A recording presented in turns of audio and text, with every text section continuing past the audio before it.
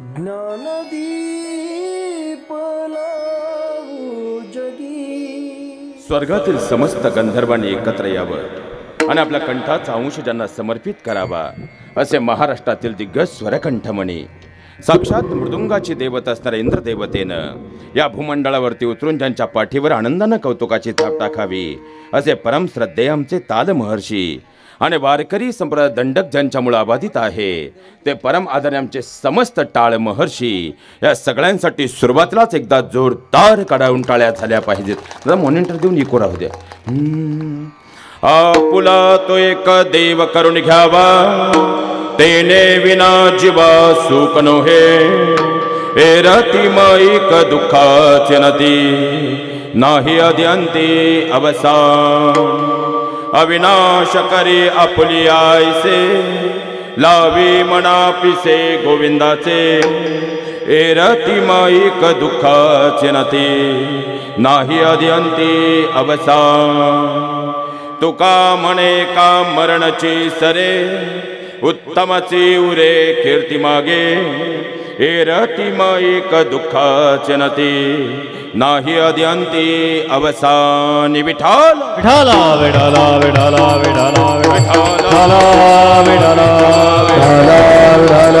विठाला नमो विठ्ठला.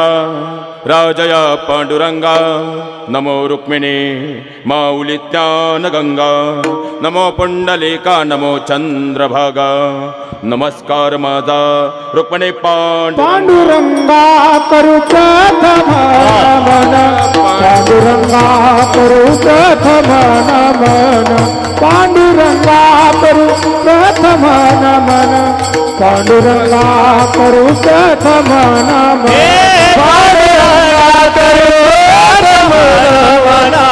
पांडुरंगा करू प्रथम नमन पांडुरंगा करो प्रथम रमण पांडुरंगा करो प्रथम रमण पांडुरंगा करो रमण मन। दुसरे चरण संतातिया दुसरे चरण संतातिया। दुसरे चरण संताजिया दुसरे चरण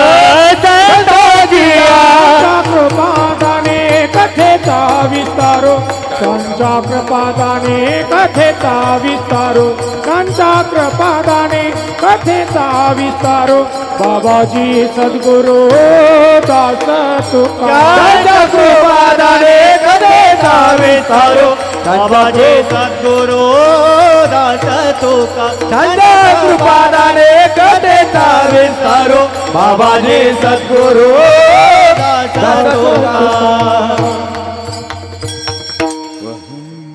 कैलास राणा शिवचंद्रमौळी वणेंद्रमाथा मुकुटे झळाळे कारण्य सिंधू भवदुःखहारे तुझबिन शंभो मज न तारे दयांचे केलिया स्मरण होय सकळ विद्यांचे अधिकरण ते बंधू श्री चरण श्री गुरूंचे ते नमस्कारो नियाता विठा विठाला विठाला विठाला विठाला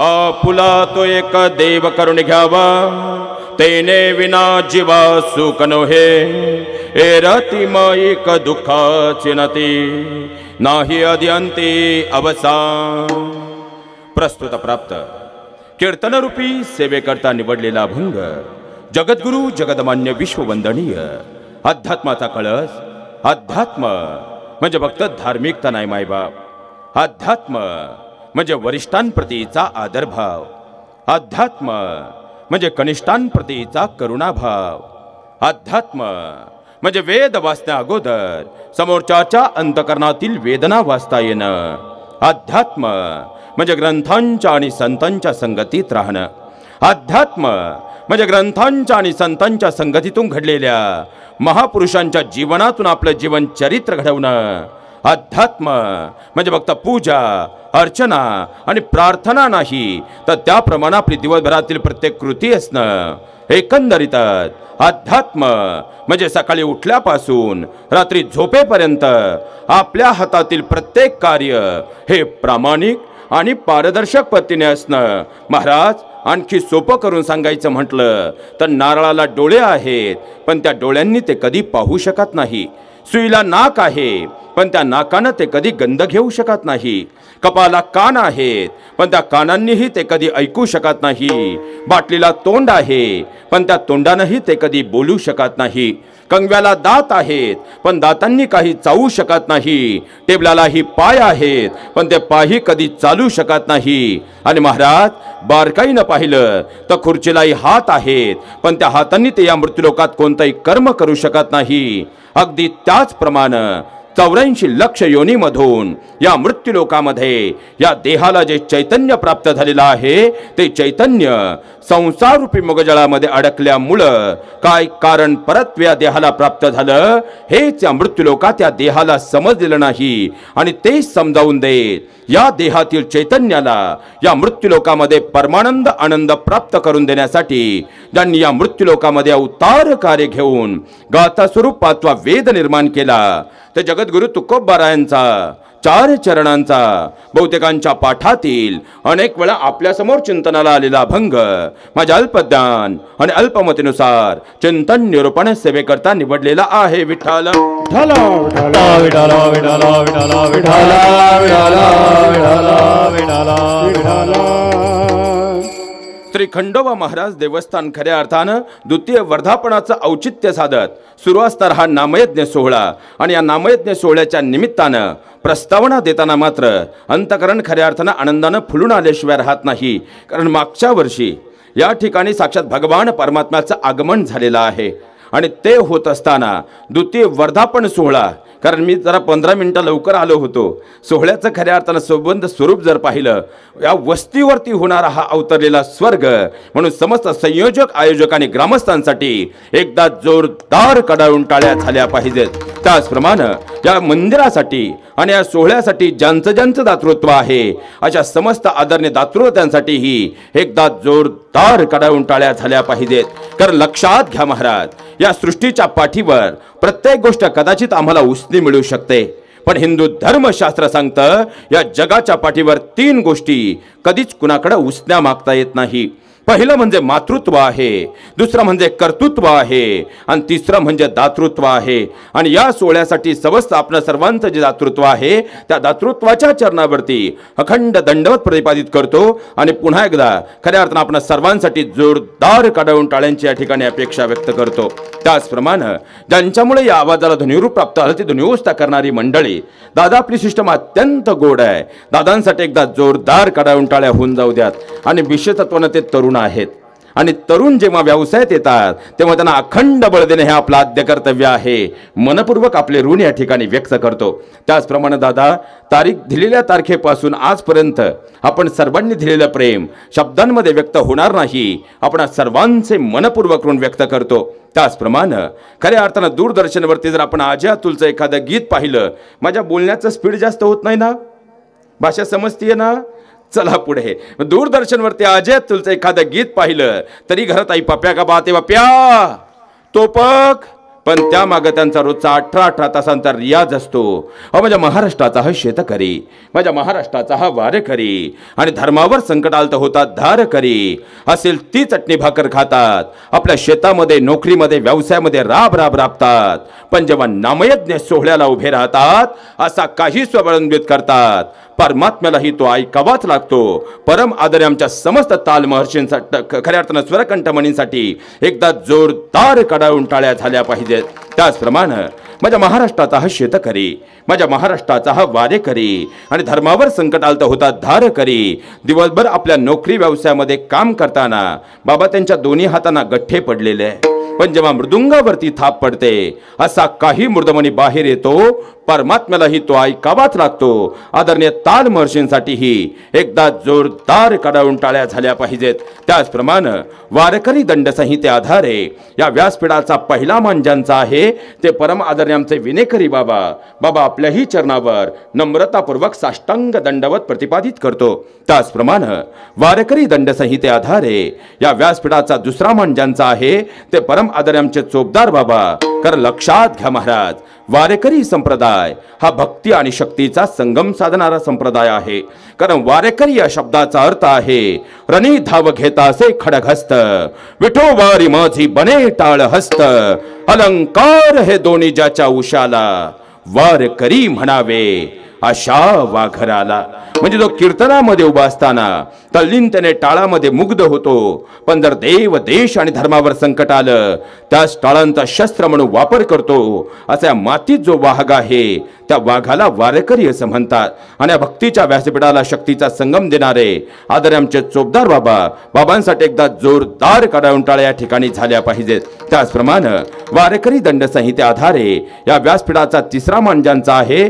ते परम आदर आमचे समस्त टाळ महर्षी विषय ही लेकर त्यांचे माता पिता आणि आदर्श त्यांना घडवणारे त्यांचे गुरुजन या सर्वांसाठी एकदा जोरदार कडावंटाळ्या झाल्या पाहिजेत. त्याचप्रमाणे समस्त संयोजक आयोजक कमिटी समस्त ग्रामस्थ आपण सर्वांचे ऋण व्यक्त करतो. आता खऱ्या अर्थानं त्याचप्रमाणे सोशल मीडियाच्या माध्यमातून जगाच्या पाठीवर वारकरी विचारांचा वसा आणि वारसा पोहोचवणार आमची सोशल मीडियाची टीम दादांसाठी एकदा जोरदार कडावून टाळ्या होऊन जाऊ द्यात. तुम्ही म्हणाल महाराज आधीच उशीर झालाय. आणि तुम्ही बोलायला लागलेले पाच मिनिटं झाले. पण पाच मिनिटापासून तुम्ही आम्हाला टाळ्याच वाजवायला लावल्या. तरी एकदा अपेक्षा आहे महाराज जोरदार कडावून टाळ्या होऊनच जाऊ द्यात. कारण या सगळ्या टाळ्या तुमच्यासाठी आहे महिला वर्ग. कारण संध्याकाळी सात वाजले आणि आपल्या हातात रिमोट आला आणि आपल्या घरात झी मराठी किंवा सन मराठी सुरू झालं की संध्याकाळी सात वाजता तू तिथं मी. साडेसातला नको दूर जाऊ बाबा. आठ वाजता कॉन्स्टेबल मंजू आणि साडेआठला आदिशक्ती हे सगळं सोडून तुम्ही आलात. तुमचे ही मनपूर्वक ऋण व्यक्त करतो आणि माझ्या चिंतन रूपी सेवेकडे प्रस्थान करतो विठ्ठल. विठाला विठाला विठाला विठाला विठाला विठाला विठाला विठाला विठाला लक्षात घ्या महाराज अभंगाच्या गुह्य चिंतनामध्ये प्रवेश करत असताना आपला नामयज्ञ सोहळा एकदिवसीय आहे आणि म्हणूनच आज सुरुवातीला एक प्रश्न आहे. आणि या प्रश्नाची उकल केल्याशिवाय अभंगाच्या गुह्य चिंतनामध्ये प्रवेश करणं अयोग्य ठरणार आहे. आणि प्रश्न असा आहे की इसवी सन बाराशेच्या कालखंडापासून आपल्याकडे कथा कीर्तन नामयज्ञ सोहळे सुरू आहेत. गेल्या दोन वर्षांपासून ही पंढरी आपल्या या तीर्थक्षेत्र मातीमध्ये अवतीर्ण होते आहे. मग तरीही समस्त संयोजक आयोजक कमिटी समस्त ग्रामस्थ या सर्वांनी एकत्र येऊन एवढ्या सुंदर नामयज्ञ सोहळ्याचं आयोजन का केलेलं आहे? किंवा खरंच आजच्या समाजाला या नाम पंढरीची खरंच गरज का आहे? लक्षात घ्या महाराज या सृष्टीमध्ये चौऱ्याऐंशी लक्ष योनी आहेत पण वास्तव जीवन हे फक्त मनुष्याला मिळालेलं आहे. पण जगावं कसं? हे मात्र समजलेलं?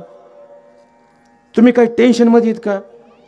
आमटी थंड होणार नाही. खऱ्या अर्थानं काही झालं तर आपण वेळेत थांबणार आहोत. फक्त बोलत चला. सोयाबीनचे बाजार वाढतील. टेन्शन घेऊ. आता एकोणचाळीस चालू आहेत ना सध्या? इकडं नाही ना? फ्लावर म्हणजे तुम्ही तरकारीवाली माणसं आहेत. म्हणजे ऊसाचं क्षेत्र जास्त आहे. आणि बत्तीसशे रुपयापर्यंत ह्या वर्षी बाजार. मग काळजी करायचं टेन्शन. आणि ईडीचे काही लोक आपल्याकडे येणार. त्यामुळे फ्रेश बसून बोलत चला विठाला. विठाला विठाल विठाल विठाल. लक्षात घ्या महाराज. चौऱ्याऐंशी लक्ष योनीमधून हा दे आम्हाला मिळाला पण कळाला नाही. कारण चौऱ्याऐंशी लक्ष योनीमध्ये बाबा कोणती योनी पहा. प्रत्येक योनी आडवी आहे पण चालायला मात्र सरळ आहे आणि एवढा एकच सरळ आहे पण चालायला. आडवाय सप्तात आल तर सप्ताच बंद पाडतोय. माणसानं कसं जगावं आणि जगणं संपलं की कसं मरावं हे शिकवण्याचं जे कार्य करतं ते म्हणजे नामसंकीर्तन असतं. या पुढं जाऊन सांगू का? एखाद्यानं एखादा गुन्हा केला तर त्याला शिक्षा म्हणजे शासन करणारी जी व्यवस्था आहे जी यंत्रणा आहे ती यंत्रणा म्हणजे शासन यंत्रणा. पण त्याच्या मनामध्ये तो गुन्हा करण्याचा विचारच कधी येऊ नये? म्हणून त्या संस्कार बिंबवणारी जी व्यवस्था आहे ती व्यवस्था म्हणजे संस्कार व्यवस्था. देह हे काळाचे धन ते ते मनुष्याचे काय आहे. लक्षात घ्या महाराज येताना तुम्ही मी काही आणलं नाही जाताना काही नेणार. तुमच्या चेहऱ्या वेगळाच भावे महाराज तुम्ही पाकिट नेणार. आहे कारण लोक फक्त आमच्यावर राहिला येतो पण लक्षात घ्या महाराज आज आपलं काही आहे. हा स्वा तुमचा आणि माझा भ्रम आहे. पण हेच वाक्य अध्यात्म क्षेत्र आधारे जर पाहिलं तर येताना घेऊन आलोय. तुमचं माझं प्रारब्ध आहे. आज करतोय. ते आपलं क्रियामान कर्म आहे. आणि घेऊन जाणार आहोत. ते तुमचं माझं संचित आहे. मग संचिताचं गाठोडं जर आज व्यवस्थित बांधायचं असेल तर आजपासून आपली कर्म आपल्याला आदर्शवत करावी. लागतील आणि कर्म जर आदर्शवत करायचे असतील त्यासाठी संस्कार अत्यंत महत्त्वाचे आहेत. आणि आज मितीला संस्कार व्यवस्थेचं या सबंध जगाच्या पाठीवरील सगळ्यात मोठं आदर्श विद्यापीठ जर कोणतं असेल ते म्हणजे नामसंकीर्तन आहे. आणि म्हणूनच आजच्या समाजाला एवढं सुंदर नामपंढरीची कीर्तन चांग कीर्तन चांग होय. अंग हरी रूपा होय अंगहारी रूपा होय अंगहारी रूपा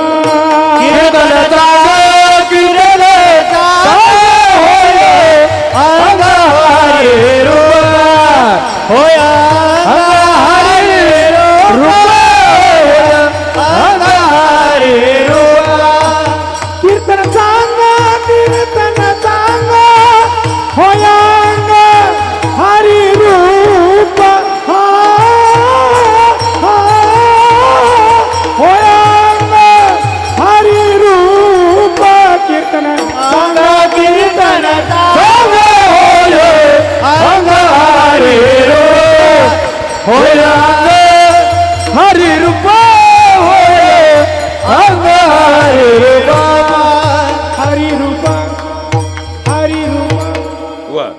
लक्षात घ्या महाराज अध्यात्मशास्त्राद्वारे जर पाहिलं तर मुक्ती म्हणजे मोक्ष राजमार्ग म्हणजे नामसंकीर्तन आहे आणि तरुणाईच्या दृष्टीनं जर आज विचार केला तर वैचारिकतेचा आदर्श विद्यापीठ म्हणजे नामसंकीर्तन आहे आणि म्हणूनच आजच्या समाजाला एवढ्या सुंदर नामसंकीर्तनाची गरज आहे विठ्ठल विठाला या अभंगाद्वारे जगद्गुरु तुकोबाराय या मृत्यूलोकातील तुमच्या माझ्यासारख्या पामरांना तो भगवान परमात्मा या मृत्यूलोकामध्ये आपलासा करण्याचा उपदेश करतात. मग महाराज आजच्या अभंगाच्या प्रथम चरणामध्ये कारण आपण अभंग सोडवणार नाही आहोत. कारण खऱ्या अर्थानं अभंग कुणाचा आहे? तुकोबारायांचा अभंग आहे. आणि खऱ्या अर्थानं जर पाहिला गेलं म्हणे रामेश्वर भट्ट द्विजा तुका विष्णुनो हे भगवान विष्णूंचं प्रतिबिंब असणारे तुकोबरायांचे शब्द सोडवणं हे पंचवीस हजार पाकिट घेणाऱ्याचं काम आहे का? म्हणून हे अभंग आपण सोडवणार नाहीत फक्त त्याला अनुमोदन देणार आहोत. म्हणून लक्षात घ्या या अभंगाद्वारे जगद्गुरु तुकोबाराय तुम्हा आम्हाला तो भगवान परमात्मा या मृत्यूलोकामध्ये आपलासा करण्याचा उपदेश करतात. पण खऱ्या अर्थानं प्रश्न असा आहे की महाराज या परमात्म्याला आपलंसं या मृत्यूलोकामध्ये करायचं पण ते का करायचं? लक्षात घ्या महाराज सोपं करून घेऊयात.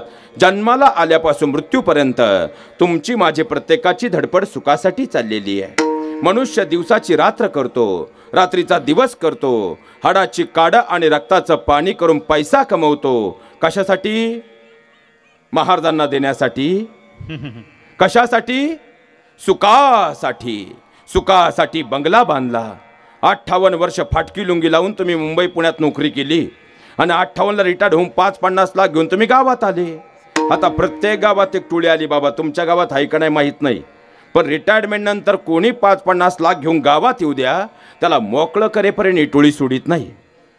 या रावसाहेब बसा रावसाहेब तुमच्यासारखा माणूस चार गावात नाही रावसाहेब फुगला रावसाहेब मारली कुदळ. पंचवीसशे स्क्वेअर फूट गेले पंचवीस. आठच महिने गेले तुमच्यासारखा माणूस तालुक्यात नाही रावसाहेब थोडीशी गरज आहे. द्या रावसाहेब आणखी चार महिने गेले मोकळा रावसाहेब पंचवीस लाख बंगल्यात गेले. पंचवीस लाख पाहुण्या रावळ्यांनी जिरवले. तुम्ही झाले मोकळे. महाराज हे माझं वाक्य नाही. अहो दारावरच्या कुत्र्याला जर भाकर मिळाली नाही तेही शेजारच्या घरात डोकवल्याशिवाय राहत नाही. महाराज सांगतात जन हे सुखाचे दिला घेतल्याचे अंत हे काळीचे. कारण जोपर्यंत तुमच्याकडून फायदा आहे हा समाज तुम्हाला जवळ करणारे. ज्या दिवशी तुमच्या जवळचा फायदा संपला जवळचेही दूर करणार आहेत ही आजच्या कलियुगातील वास्तवरीत आहे. कारण खऱ्या अर्थानं हा द्वितीय वर्धापन सोहळा आहे आणि तो भगवान परमात्म्याच्या मूर्ती प्राणप्रतिष्ठा सोहळ्याचा आहे. आणि त्या अनुषंगानं मागच्या वर्षी या ठिकाणी आलेला भगवान परमात्मा आपल्या घर नावाच्या मंदिरामध्ये यावं वाटत असेल त्यासाठी काय करावं लागेल याचं चिंतन म्हणजे आजचं नामचिंतन आहे. विठ्ठल. विठाला विठाला विठाला विठाला मग सुखासाठी घर बांधलं सुख मिळालं महाराज? आता सुखासाठी बायको केली तिथं मिळतच नाही म्हणा आता. का तुमच्या का बरं आहे खायचं बरं आहे महाराज. आता मलठणपासून पस्तीसचे पस्तीस नवरदेव पाहिले तो भंडारा पाहिला तरी उठून उभा राहतो बा आपल्या चांगव या वर्षी पडतो काय. पण जाऊ द्या मध्यस्थी चांगला होता मिळाली. अडीच लाख हॉलला भाडे दिलं साडेतीन लाखाचा डीजे आणला रात्रभर सगळ्या मित्रांना व्हॉट्सअपला एस एम एस करून रात्रभर बोलून आणि जागून फुलाची गाडी सजवून वाजत गाजत जी बायको घरी आणली तीच तुम्हाला आणि मला काय म्हणती? आता आम्ही काही येगळे का बाबा? तुमच्या पुढं आल्यावर बोलतो ना सप्त्याला सात दिवसांनी घरी गेल्यावर सोपं आहे. तीच तुम्हाला आणि मला काय म्हणती? तुम्हाला काही कळत? तुम्हाला काही कळत? आमटी थंड होणार. काळजी करू. फक्त बोलत. चला तीच तुम्हाला ना मला काय म्हणती? तुम्हाला काही कळत नाही? आता सुखासाठी बायको केली बरोबर? पण खरं सांगा सुख मिळालं महाराज? उत्तर इथं देऊ नका. दहा नंतर घरी जायचंय. सुखासाठी पप्या जन्माला आला. तोच म्हणतो माझ्या पप्पानं माझ्यासाठी काहीच कमवून ठेवलं. नाही. सुखासाठी गुड्डी जन्माला आली. दोन पदपेड्यांचं कर्ज काढून तिला पुण्यात विद्यापीठात पाठवली. ती कॉलेजच्या गेटवरूनच गड्ड्याला घेऊन गेली तर परत गावात आडनाव बदलून आली. सुखासाठी बाण कोरले ही तर नवीनच टोळी आली व तुमच्या गावात आहे का नाही माहीत नाही पण कोणत्याही गावात जा महाराज गाव तसं चांगलं. पण तंटामुक्तीच्या अध्यक्षांना भेटलं तर नव्वद टक्के प्रकरणं फक्त जमिनीच्या बांधांची आहेत की नाही? बरं हा विषय जाणीवपूर्वक व्यासपीठावर बोलण्याची गरज यासाठी निर्माण झाली. आज कोणत्याही गावात जा सार्वजनिक कार्यक्रमात आम्ही एकत्र यायला तयार आहोत. पण दोन रक्ताचे भाऊ जर एका विचाराने एकत्र यायला तयार नसतील तर कोणता अध्यात्म आम्ही जिवंत ठेवलंय याचा मात्र विचार करावा लागेल. महाराज तुम्ही लहान होतात ना? तुम्ही लहान होतात ना? अरे दोन भाऊ जर शाळेत निघाले दप्तर तुझ्या पाठीवर की दप्तर माझ्या पाठीवर? यावरून दोन भाऊ एकमेकांशी भांडत होते. एकमेकांना मारत होते. पण वर्गात बसल्यानंतर मांडीला मांडी लावून बस होते. अरे ते दोन भाऊ जर संध्याकाळी आईच्या शेजारी झोपायला गेले ना तर आईचं तोंड तुझ्याकडं का आईचं तोंड माझ्याकडं? यावरून एकमेकांशी भांडत होते. एकमेकांचे केस ओढत होते. पण पोलीस स्टेशनला जाऊन कधी एकमेकांवर केस टाकत नव्हते. तेच रक्ताचे भाऊ. आज काहीच न पिकणाऱ्या गुंठावर बांधासाठी जर एकमेकांना कुराड घेऊन धावत असतील तर कोणता अध्यात्म आमच्या अंतकणात वास्तवतेनं रुजलंय? विचार मात्र करावा लागेल. महाराज इथं बसलेल्या प्रत्येकानं रामायण ऐकलंय. इथं बसलेल्या प्रत्येकानं रामायण वाचलंय. इथं बसलेल्या प्रत्येकानं रामायण पाहिलंय. पण या महाराष्ट्राची दुर्दम्य शोकांतिका अशी आहे? तुम्ही आम्हाला पाच पाच लाख रुपये देऊन आमच्या रामकथा आयोजित करता. पण घरी गेल्यानंतर राम किंवा लक्ष्मणावर केस टाकण्याचा विचार आपल्या अंतकणात रुंजी घालत असेल तेवढ्या गोड रामकथा आम्ही शिकलो काय? हा सगळ्यात मोठा प्रश्न आहे. आता खऱ्या अर्थानं आपण बारकाईने रामायण कत्र एकदा व्यवस्थित समजून घ्या. कारण रामायणाचा पूर्वार जर आम्ही पाहिला तर आम्हाला राम लक्ष्मण राम भरतांमधलं प्रेम दिसतं. आणि त्याच रामायणाचा उत्तरार जर आम्ही पाहिला तर वाली आणि सुग्रीवात निर्माण झालेला वीस संवाद असेल किंवा लंकाधिपती रावण आणि विषणात निर्माण झालेला लालसा असेल. लंका सोन्याची होती महिला मंडळ कशाची? कशाची? यांच्याबरोबर भांडताना जेवढ्या मोठ्यानं बोलताना तेवढ्या मोठ्यानं सांगा लंका कशाची होती? सु तुमचं अवघडच आहे गड्यानं. सोन्याची इथं एक तोळा करायचं म्हणलं तरी सोन्याच्या बापाबरोबर वर्षभर भांडावं लागतंय. ते लंका सोन्याची होती पण रक्ताचा भाऊ भावाच्या विरोधात उभा ठाकला. सोन्याची लंका मातीमोल झाली. प्रभू रामचंद्रांच्या जीवनात चौदा वर्षांचा वनवास होता. पण लक्ष्मण आणि भरत भैयासारखा भाऊ सोबतीला होता. म्हणून तर चौदा वर्षाच्या वनवासानंतरही प्रभू रामचंद्र पुन्हा एकदा अयोध्येचा राजा होता. हे सगळ्यात मोठं वास्तव आहे. चला आता रामायणामधून आपण आपल्या तालुक्यात येऊयात. बांध करून बंगला बांधला एक तरी माणूस सापडेल. बांध करून गाड्या घेतल्या एक तरी माणूस सापडेल. बांध करून आपल्या मुलांचं शिक्षण पूर्ण केलं स्वतःचा व्यवसाय घडवला एक तरी माणूस सापडेल. तुम्ही आजूबाजूला नीट नजर टाका. ज्यांनी गाड्या घेतल्या ज्यांनी घरं बांधली ज्यांनी स्वतःचं मुलांचं जीवन घडवलं त्यांनी फुटबार बांध कोरण्याकडे कधी लक्षच दिलं नाही. आणि ज्यांनी बांध कोरण्यात आपलं उभं आयुष्य घालवलं त्यांनी स्वतःच्या आयुष्याची तर माती केली. पण न कळत्या वयातल्या आमच्या छोट्या छोट्या लेकरांनासुद्धा नाहक या वादात ओढून पोलीस स्टेशनची पायरी चढा लावून पुढची सुद्धा एक पिढी बर्बाद केली. हे सगळ्यात मोठं वास्तव आहे. बरं या वर्धापन दिनाच्या औचित्यानिमित्तानं आज मी तुम्हा सगळ्यांना एक प्रश्न विचारून जातो. आम्ही कितीही बांध कोरले तरी मला तुम्हीच उत्तर द्या. तलाठी भाऊसाहेबांच्या कपाडती सातबारे कधी बदलणार आहेत का? आणि त्यावरच्या खराब्याच्या क्षेत्रात चढउतार होणार आहे का? याचा मात्र नक्की विचार करा. अरे आमच्या हजारो पिढ्या आल्या या बांधांवर बसल्या एका ताटात जेवल्या त्या बांधावरून भांडल्या आणि शेवटी त्या बांधात मिसळून गेल्यात. तुम्ही मी का अमरपट्टा घेऊन आलोय? आजा मेला पंजा मेला बाप मसना गेला. देखत देखत ना तो पळतो तो तोही तैसा झाला. देखत देखत ना तो पळतो तो तोही तैसा झाला. देखत देखत ना तो पळतो तो तोही तैसा झाला. पुन्हा नागा पाठी भय आले मोठे. उठा जागा पाठी भय आले मोठे उठा जागा पाठी भयाले मोठे उठा जागा पाठी भयाले मोठे ए आजा मेला पंजा मेला बाप मसना गेला। आता मेला पडला वेला बाप मसला गेला।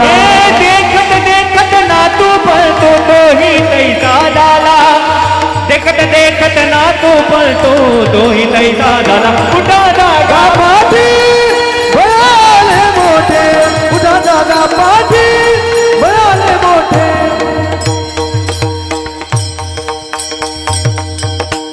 एकदा जोरदार कडवून टाळे आमचे समस्त स्वरगंधर्व. तालाने टाळ मोर्शींसाठी झाल्या पाहिजेत. आणि इथून पुढे आपल्या गावातील सप्ताला सुद्धा ही सवय लावून घ्यायची महाराज. कारण ही सगळी मंडळी म्हणजे संप्रदायाचं गोड वैभव आहे. आणि एक दिवसीय कार्यक्रम असू द्या किंवा सप्ताह असू द्या एक फोन केला का ही सगळी मंडळी धावत येतात. याचा अर्थ या सगळ्या मंडळींचं तुमच्यावर नितांत प्रेम आहे. मग त्यांनी कोणतंही प्रमाण दिल्यानंतर त्यांना प्रोत्साहन देण्याचं काम आपलं आहे का कवठेकरांचं आहे. पण आजच नाही. आजपासून आपल्या सप्ताला अखंड सुरुवात झाली पाहिजे.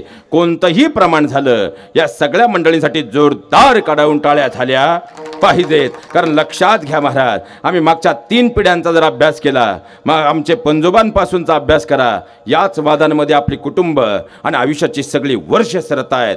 सगळ्यात मोठी शोकांतिका आहे. म्हणून तर या वर्धापन दिनाचं औचित्या निमित्तानं भगवान परमात्मा आपल्या घरी यावं. इथून पुढच्या काळात जर असं वाटत असेल तर इथं बसलेल्या सगळ्या ज्येष्ठांच्या पायावरती. आज तुमचा मुलगा म्हणून डोकं टेकून आजच्या कीर्तनातली पहिली विनंती करून जातो. मागच्या पिढ्यांपासून या फुटबळ जमिनीच्या बांधांचे वाद तुमच्यापर्यंत आले. आणि खऱ्या अर्थानं तुमचंही निम्म आयुष्य या फक्त फुटबॉल बांधांच्या वादात निघून गेलंय.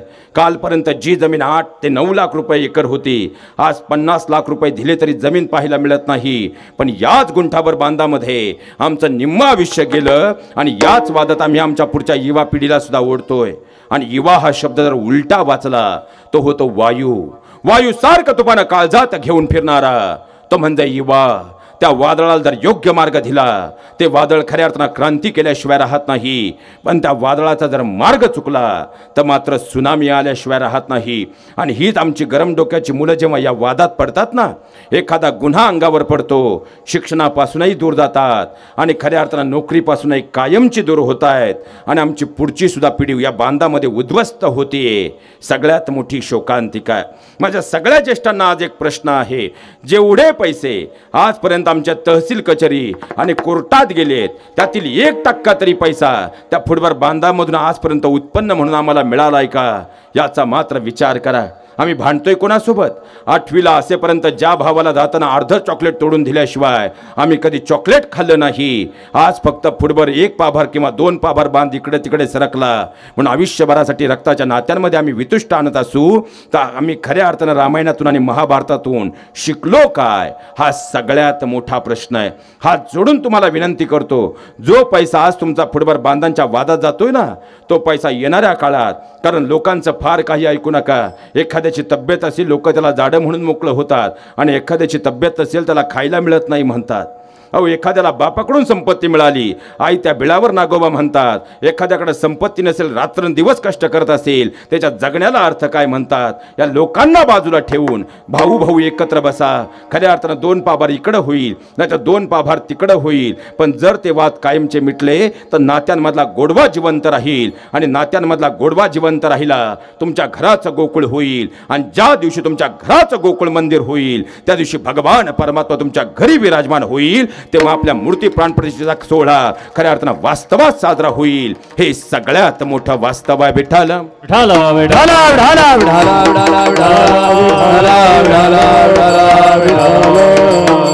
लक्षात घ्या महाराज. आणि म्हणूनच समस्त ज्येष्ठ मंडळींना एक विनंती करून जातो या फुटबॉल बांधांच्या वादात जो पैसा तुमचा आज कोर्ट कचेरीत चाललाय ना तोच पैसा. येणाऱ्या काळात जर तुमच्या मुलांच्या व्यवसाय आणि शिक्षणासाठी वापरलात तर माझं एक वाक्य लिहून ठेवा. आपल्या या सोहळ्याचे जेव्हा पंचवीस वर्ष पूर्ण होतील तेव्हा तुमच्या याच तरुण लेकरांनी ज्ञानाच्या आणि कर्तृत्वाच्या बळावर त्या बांधाच्या पलीकडे दोन एकर जमीन कर्तृत्वानं विकत घेतली असेल. हे सगळ्यात मोठं वास्तव आहे. सगळ्यात मोठं. आणि सगळ्या तरुण मित्रांनो तुम्हाला एक विनंती करून जातो. ही जी वयस्कर पिढी आहे ना महाराज ही फक्त घरात दोन वेळचं जेवायला मिळावं. म्हणून तुम्हाला खरंच काही बोलून दाखवत नाही. पण तुम्ही सगळे झोपल्यानंतर रात्रीच्या बारा वाजता हीच वयस्कर पिढी आपल्या हुंक्यांचा आवाज घरात कुणाला येऊ नये म्हणून डोक्याखालची उशी तोंडात घालतीये आणि अंगावर चादर घेऊन आज हमसून हमसून रडतीये. का? तुमच्या माझ्या माय बापाचं जीवन कत्र आठवून पहा. अरे तुमचा माझा हा बाप वयाच्या वीस वर्षापर्यंत आपल्या कुटुंबासाठी जगत राहिला. आपल्या बहिणींच्या लग्नाची कर्ज फेडत राहिला. एकविसाव्या वर्षी त्याचं लग्न झालं. एक वर्ष त्यानं सुखाचा प्रपंच केला आणि तुमचा माझा जन्म झाला. ज्या दिवशी तुमचा माझा जन्म झाला ना त्या दिवसापासून या बाईनं बाई पण सोडून आपल्या लेकरांच्या कल्याणासाठी उभं आयुष्य आई पण स्वीकारलं. आणि तुमचा माझा बाप तुमच्या माझ्यासाठी जळत राहिला. अरे याच गावातल्या चौकात गाव त्याला भिकारी म्हटलं. पण तो गावाला सांगत राहिला लाख मी आज पैशानं गरीब असेल पण माझी लेकरं माझे कोणी म्हणून घडतील. आता इथं एक व्यावहारिक विचार आज मात्र प्रत्येकानं करावा. या दोघांचं आयुष्य होतं. दोघांनी एकमेकांसाठी जगायला हवं होतं.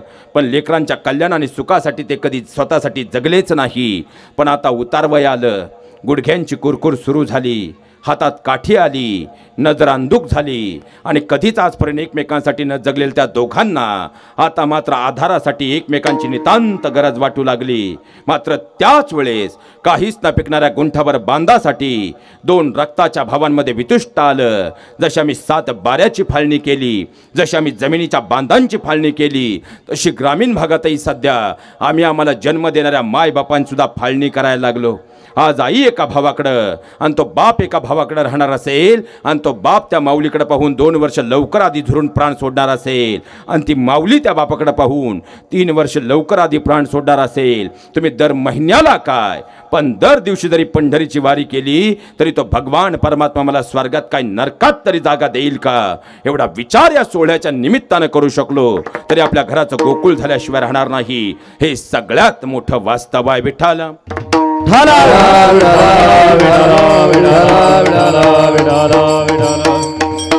आणि माझ्या बहिणीनं तुम्हालाही एक प्रश्न विचारून जातो कारण येताना रस्ते तुमचे आता फार छान झालेत आणि अष्टविनायक इथूनच गेला आहे म्हणून हा प्रश्न तुम्हाला विचारतो कारण अष्टविनायक गेल्यापासून तुमच्या गुंठ्याचे रेट आता वाढलेत.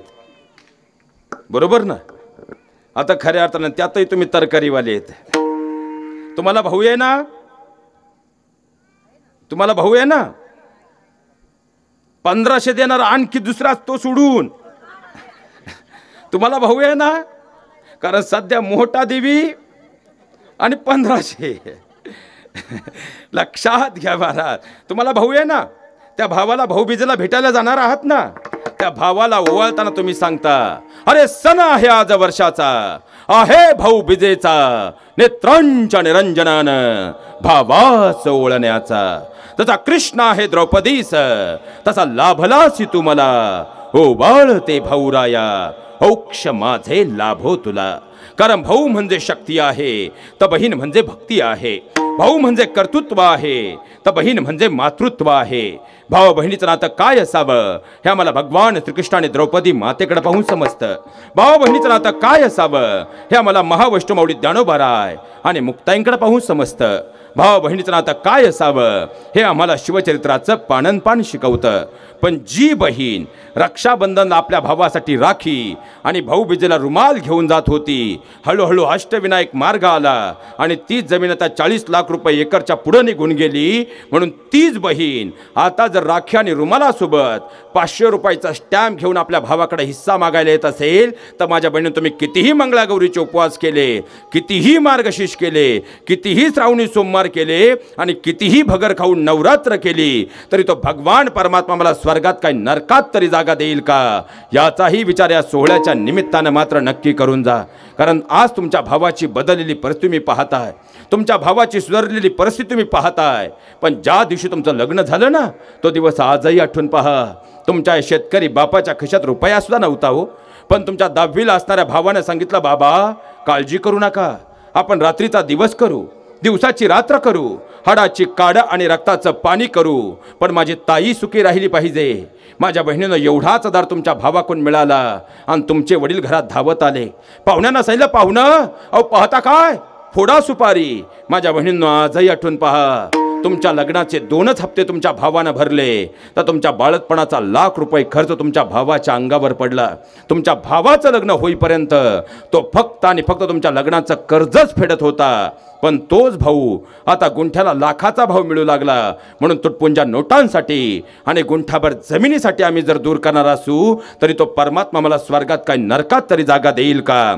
आणि खऱ्या अर्थानं आपली कुलदेवता असणारे खंडोबाराय आपल्याला खऱ्या अर्थानं आशीर्वाद देतील का? एवढा विचार या सोहळ्याच्या निमित्तानं करू शकलो तरी आपल्या घराचं गोकुळ झाल्याशिवाय राहणार नाही आणि या देहाचं मंदिर झाल्याशिवाय राहणार नाही. हे सगळ्यात मोठं वास्तव आहे विठाल विठाला विठाला विठाला विठाला विठाला विठाला विठाला विठाला लक्षात घ्या महाराज मूळ मुद्द्यावर येतो. आता सुखासाठी घर बांधलं. इथून आपण निघालो होतो. घर तुम्ही तुमच्यासाठी बांधलं का मुलांसाठी बांधलं? मुलांसाठी. कारण ज्या दिवशी बाबा तुम्ही घर बांधायचं स्वप्न पाहिलं त्या दिवशी वीट होती साडेतीन रुपये ठोकळा. आणि स्टील होतं बत्तीस रुपये किलो. पण ज्या दिवशी तुम्ही घर बांधून पूर्ण केलं त्या दिवशी वीट होती साडे तेरा रुपये ठोकळा आणि स्टील होतं चौसष्ट रुपये किलो. म्हणजे जवळपास तुमच्या जीवनातील ज्या देहाचा क्षणाचाही भरवसा नाही असा क्षणभंगूर देह कारण चौऱ्याऐंशी लक्ष युनितून मिळाला म्हणून तर तुकोबारांनी सावध केलंय. क्षणोक्षणा हाची तरावया पार नाशिवंत देह. आयुष्य खातो काळ. म्हणजे खऱ्या अर्थानं जर पाहायला गेलं तुकोबरांनी आम्हाला सावध केलं पण असा क्षणभंगूर देह आणि त्याच्यातले तीस वर्ष आम्ही पप्यासाठी फक्त एक घर बांधायला घालवली बरोबर? मग आमच्या जीवनातली तीस वर्ष पप्यासाठी जर आम्ही घर बांधायला दिली तर आपण गेल्यानंतर आपला लाडका बाबा म्हणेल का? आपल्या वडिलांनी आयुष्याची तीस वर्ष या घराला दिली मग त्यांना शेवटच्या आंघोळ आपण आपल्या बेडरूममध्ये घालू. नंतर आपली लाडकी बायको लादी पुसून घेईल. तुम्ही घर लाखाचं काय? पण कोटीचं जरी बांधलं एकदा तुटक्या खाटेवर गरम पाण्यासह हा देह बाहेर काढला आणि तुळशीचं पान तोंडात गेलं की त्या घराशी आपला कायमचा संबंध संपला. मग सुखासाठी घर बांधलं. पण अध्यात्मशास्त्राद्वारे विचार करा. वास्तवात सुख मिळालं? आता सुखासाठी बायको केली बायको आपली कुठपर्यंत आहे? सहा पत्र्याखाली अग्निडाग देईपर्यंत बायको आपली आहे. एखादी ताई म्हटली महाराज व्यासपीठावर असं का बोलले? मी गेल्यावर चर्चा नको घ्या पुरावा. आणि पुरावा म्हणून एकच करा बाबा. आता पुढच्या वीस वर्षासाठी आपल्या गावात आजपासून सतीप्रथा परत चालू करून पहा. दूध का दूध पाणी का? आता सुखासाठी पप्या जन्माला आला महिला मंडळ. पप्या आपला कुठपर्यंत आहे? जोपर्यंत पप्याच्या डोक्यावर पिवळ्या तांदळाचा मार पडत नाही आणि नवीन आलेली गुड्डी जोपर्यंत पहिल्या श्रावणपाठीला जात नाही आणि पहिल्या श्रावणपाठीच्या आणलेल्या गोड पोळ्या जोपर्यंत वरचन खालच्या वाटल्या जात नाही तोपर्यंत पाप्या आपला आहे पण एकदा पहिल्या श्रावणपाठीच्या गोड पोळ्या वरच्या आळीला वाटल्या महिला मंडळ तिथून पुढे पाप्या आपला राहत नाही तुम्ही म्हणता मी म्हणत विठ्ठल ढाला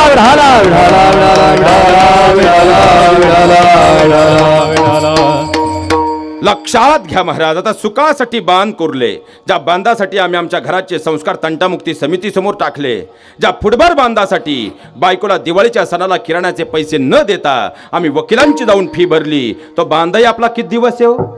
एकदा आपली दशक्रिया झाली आणि आपल्या तेरवीचं गोड जेवण सगळं गाव जेवलं की चौदाव्या दिवशी तुमचा लाडका पाप्या तुमच्या मृत्यूआ दाखला घेऊन ग्रामपंचायतमध्ये गेल्याशिवाय राहात नाही आणि तो ग्रामपंचायतमध्ये गेला आणि तलाठी भाऊसाहेबांनी तुमच्या मृत्यूचा दाखला पाहिला की तलाठी भाऊसाहेब सात बाऱ्यावर तुमच्या नावाला कंस केल्याशिवाय राहत नाही. मग ज्या बांधासाठी अख्खा आयुष्य वादात गेलं तो बांधाही आपला किती दिवस आहे? मोजून चौदा दिवस आहे. म्हणजे ज्या प्रपंचात आम्ही तल्लीन आहोत कसाही करा तो शेवटी नश्वरच आहे. पण इथून पुढे चौऱ्याऐंशी लक्ष युनिचा जो फेरा आहे तो टाळून या देहातील चैतन्याला जर या मृत्यूलोकातून मूळ विसावा घ्यायचा असेल त्या नश्वर देहाला एकमेव साध्य आणि साधन तो म्हणजे भगवान परमात्मा ईश्वर आहे. आणि नश्वर देहानं मृत्यूलोकात नामाधारे तो भगवान परमात्मा जर आपलासा केला तो बराय सांगतात मोक्षरूपी अंतपार सुखाची प्राप्ती आहे. अभंगाचं प्रथम चरण. आपुला तो एक. देव करून घ्यावा. आपुला तो एक. देव करून घ्यावा. आपुला तो एक. देव करून घ्यावा. आपुला तो एक. देव करून घ्यावा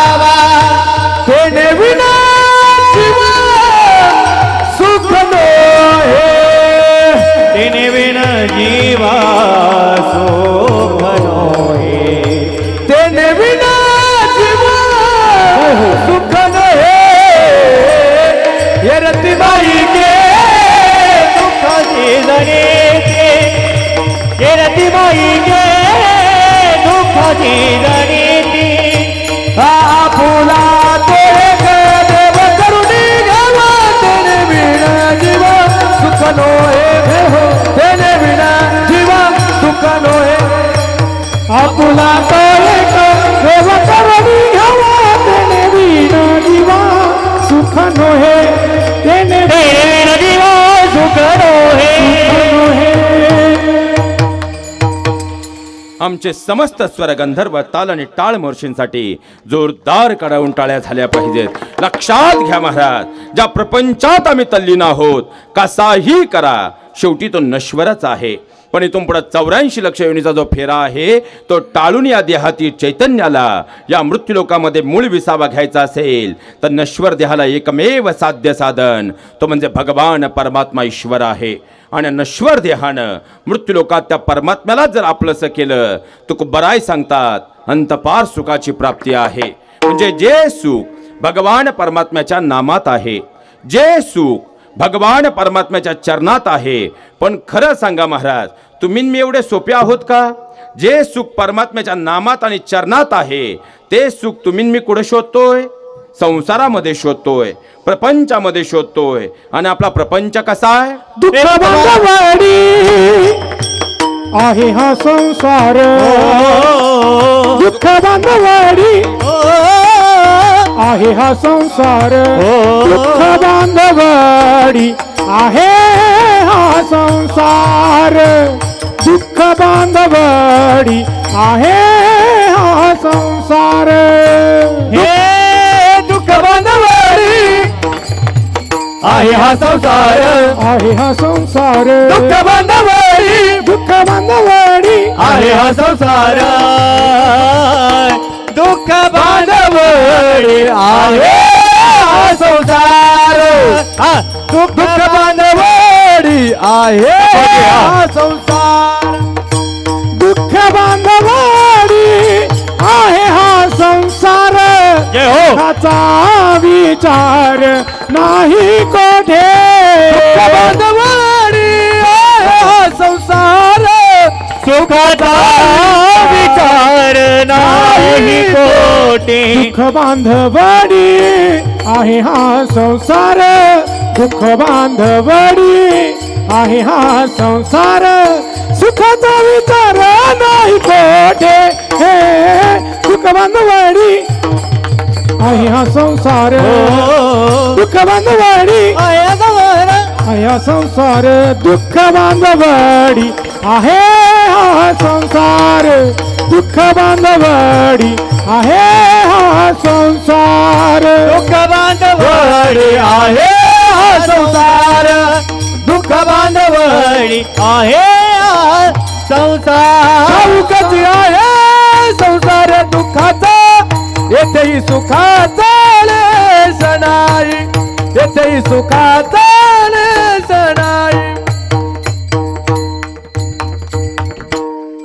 एकदा जोरदार टाळ्या होऊन जाऊ द्यात आणि ही सवय लावूनच घ्यायची महाराज. कारण सायकोलॉजी सांगते बसल्या जागेवर खऱ्या अर्थानं आपण ही एक कोणती गोष्ट एकवीस वेळा केली तर व्यक्ती ती मरेपर्यंत विसरत नाही आपण बारापर्यंत आलोय. त्यामुळं खऱ्या अर्थानं कारण ही आपली संपत्ती आहे आणि हे जपणं आपलं आद्य कर्तव्य आहे. आता दोन्ही प्रमाणांचा अनुषंग जर पाहिला तर या मृत्यूलोकात प्रपंच दुःख मूळ आहे. म्हणून तर तुकोबारांनी याही पुढे जाऊन सांगितलं संसाराच्या नावे घालून या. आम्ही प्रपंचाला मुठमाती दिली. मग तुकोबाराय या मृत्यूलोकातील आम्हासारख्या अल्पज्ञानी पामरांच्या अंतकरणामध्ये एक प्रश्न या दोनही प्रमाणांधारे असा निर्माण होतो. तुम्ही म्हणताय प्रपंच दुःखमूळ आहे. तुम्ही म्हणताय प्रपंच दुःख देणारा आहे. पण जेव्हा जेव्हा मी संत चरित्राचा अभ्यास करतो त्यावेळेस आम्हाला असं जाणवतं की तुमच्यासह आदी संतांनी या मृत्यूलोकामध्ये तो प्रपंच केलेला आहे. मग तुमचं हे बोलणं इथं उपरोधिक वाटणार नाही का? लक्षात घ्या महाराज. तुकोबाराला उत्तर देणं शास्त्राचा आधार घेतात. कारण अध्यात्मशास्त्राधारे या मृत्यूलोकामध्ये प्रपंचाचेही दोन प्रकार पडतात. प्रपंचाच्या मुळी असे दोन अंग एक सकाम दुजा निष्काम. प्रपंचाचेही दोन प्रकार आहेत. एक म्हणजे सकाम प्रपंच आणि दुसरा म्हणजे निष्काम प्रपंच.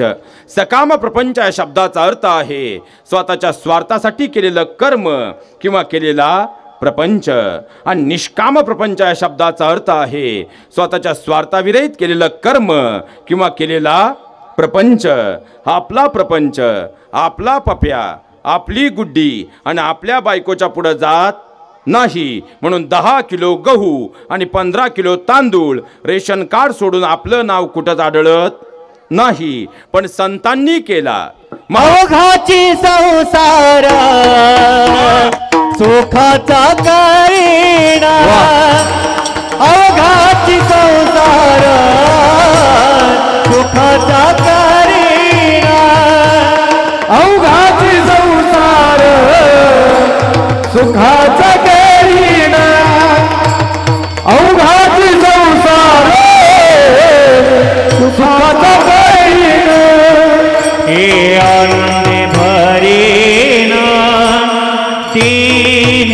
yo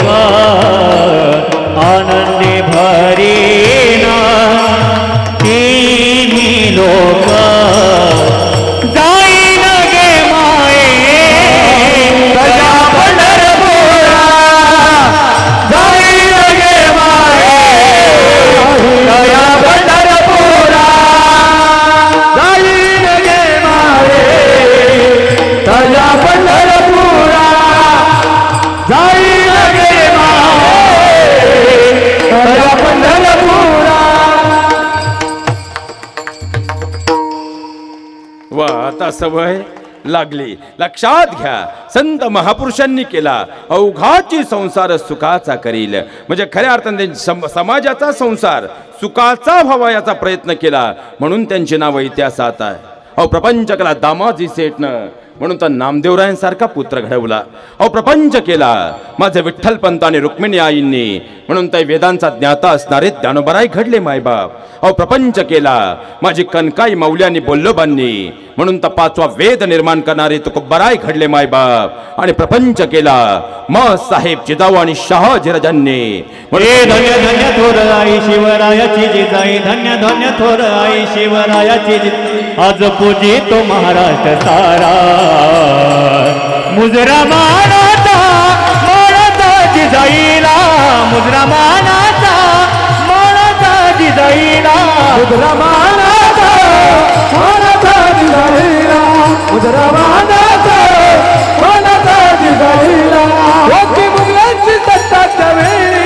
दिन दुबला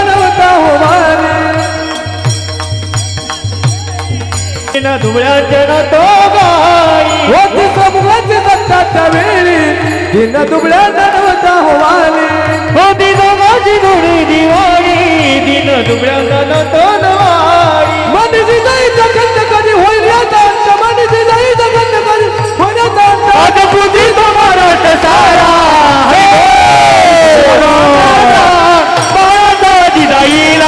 मुद्रा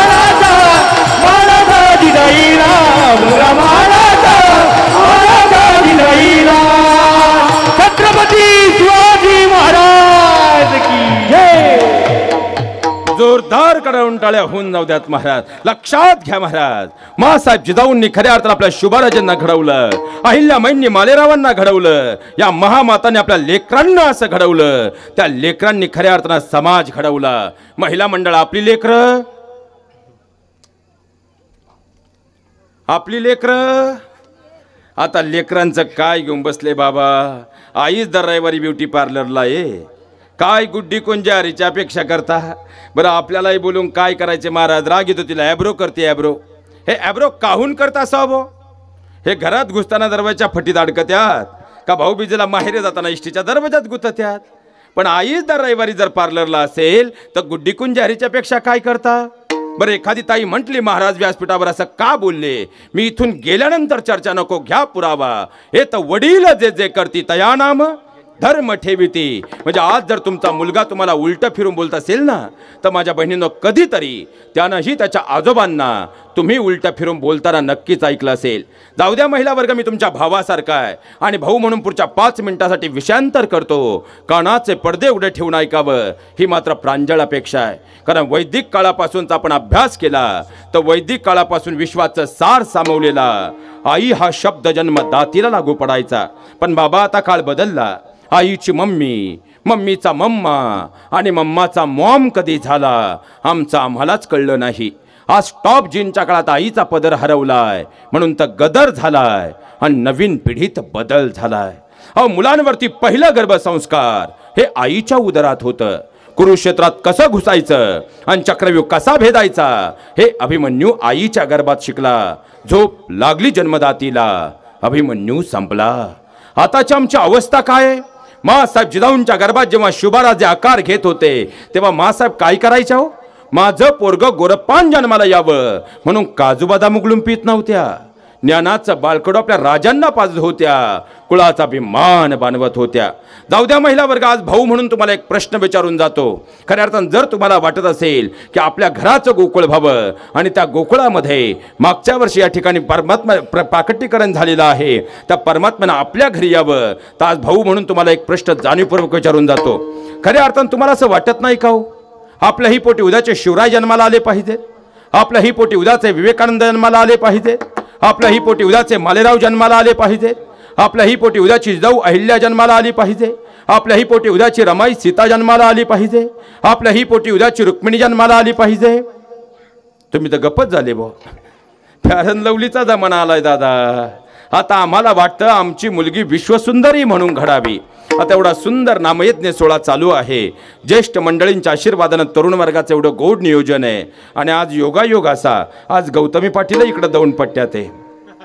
आणि तिला जाताना बातमी कळाली तर एवढा सुंदर सोहळा चाललाय. हायवेच्या अगदी जवळच आहे. संध्याकाळी खऱ्या अर्थानं साडेपाच ते साडेसातची वेळ आहे. मग आपण भेट द्यायला पाच मिनटं जाऊ. आणि एवढीच बातमी आजूबाजूच्या दहा गावात गेली की आज गौतमी ताई या ठिकाणी भेट द्यायला पावणे आठला येणार आहेत. खरं सांगा महाराज आजूबाजूच्या दहा गावात एक तरी पोरग त्या गावात सापडेल का? सगळे कुठं असतील? आता जर पाऊस असता तरी सगळे कुठं असतील? कोण सायकल व कोण मोटरसायकल व कोण पिकअपमध्ये कोण ट्रॅक्टरमध्ये कोण आयशरमध्ये काहीच नाही मिळालं काही जीसीपीच्या फणीवर पण सगळे कुठं? पण इथं एकच विचार करा माझ्या बहिणींनो मी तुमच्या भावासारखा आहे. ज्यावेळी याच अभिनेत्री समोरून येत असेल ना कोणीतरी शिट्ट्या वाजवत असेल. कुणी काहीतरी गलिच्छ कमेंट पास करत असेल आणि कुणातरी विक्षिप्त वासनांद नजर त्यांच्या शरीरावर फिरत असेल मग आम्हाला वाटतं आमच्या मुलींकडे समण त्या नजरेनं पाहावं. आपल्या मुलीला कधीही विश्वसुंदरी बनवण्याचा अट्टास करू नका. अरे बनवायचंच असेल तर आपल्या मुलीला संस्कार सुंदरी बनवा मायबाप. संस्कार सुंदरी बनवा. कारण खऱ्या अर्थानं हे जग जिच्या पाया पडतं. तिला सीता म्हटलं जातं. तिला मीरा म्हटलं जातं. तिला मा साहेब जिजाऊ अहिल्या म्हटलं जातं. तिला अभिनेत्रीच्या नावानं कुणीच ओळखत नाही हो. मग एखादी ताई म्हणेल महाराज तुम्ही जर असं म्हणताय मग रूपाच्या सौंदर्यतेला काहीच किंमत नाही का? असंही मला म्हणायचं नाही. सोपं करून सांगतो. आता मागे साडेतीन वर्षापूर्वी बाबा आपल्याकडे लॉकडाऊन येऊन गेलं. त्या लॉकडाऊनमध्ये पप्प्यानं तीन वेळा पोलीस स्टेशन केलं पण गोरीपान बायको घरी आणली. पप्यानं बायको गोरीपान केली. पण जर तिचा स्वभाव चांगला नसेल तर ती ज्या घरात जाईल त्या घराचा स्वर्ग होईल का नरक? महिला मंडळ स्वर्ग होईल का नरक? नरक. आणि भले एखादी रंगानं सावळी मुलगी असू द्या पण स्वभावानं जर अत्यंत चांगली असेल तर ती ज्या घरात जाईल त्या घराचा स्वर्ग होईल का नरक? स्वर्ग कारण गुणांची सौंदर्यता ही काळानुसार वाढणारी आहे आणि रूपाची सौंदर्यता ही काळानुसार कमी होणारी आहे. मग माझ्या बहिणींना आम्ही कोणत्या सौंदर्यतेला महत्त्व देतो याचा मात्र नक्की विचार करा. आणि म्हणूनच खऱ्या अर्थानं मागच्या वर्षी खऱ्या अर्थानं आपली कुलदेवता खंडोबरायांचं या मंदिरामध्ये आगमन झालेलं आहे. आणि तोच भगवान परमात्मा स्वतःहून आपल्या घर नावाच्या मंदिरामध्ये यावं असं वाटत असेल तर आजपासून मी दिसते कशी? मी दिसते कशी? यापेक्षा मी घरात वागते कशी? आल्या गेल्या पाहुण्यांचा आदरतिथ्य करते कशी? आणि आपल्या घरात आपल्या सासऱ्यांसोबत राहते कशी? याला तुम्ही आता प्राधान्य देणं काळाची गरज आहे. अहो आम्ही किती मोठ्या घरात राहतो आणि किती स्क्वेअर फूटच्या बंगल्यात राहतो. माझ्या बहिणींना या गोष्टीला किंचितही किंमत देऊ नका. पण आम्ही आमच्या घरातल्या सासऱ्यांसह घरातल्या किजांच्या हृदयात आहोत. याला सगळ्यात मोठी किंमत आहे. आणि एवढे एकच वाक्य जरी तुम्ही आजच्या कीर्तनातून घेऊन गेलात तुमचं मला माहीत नाही.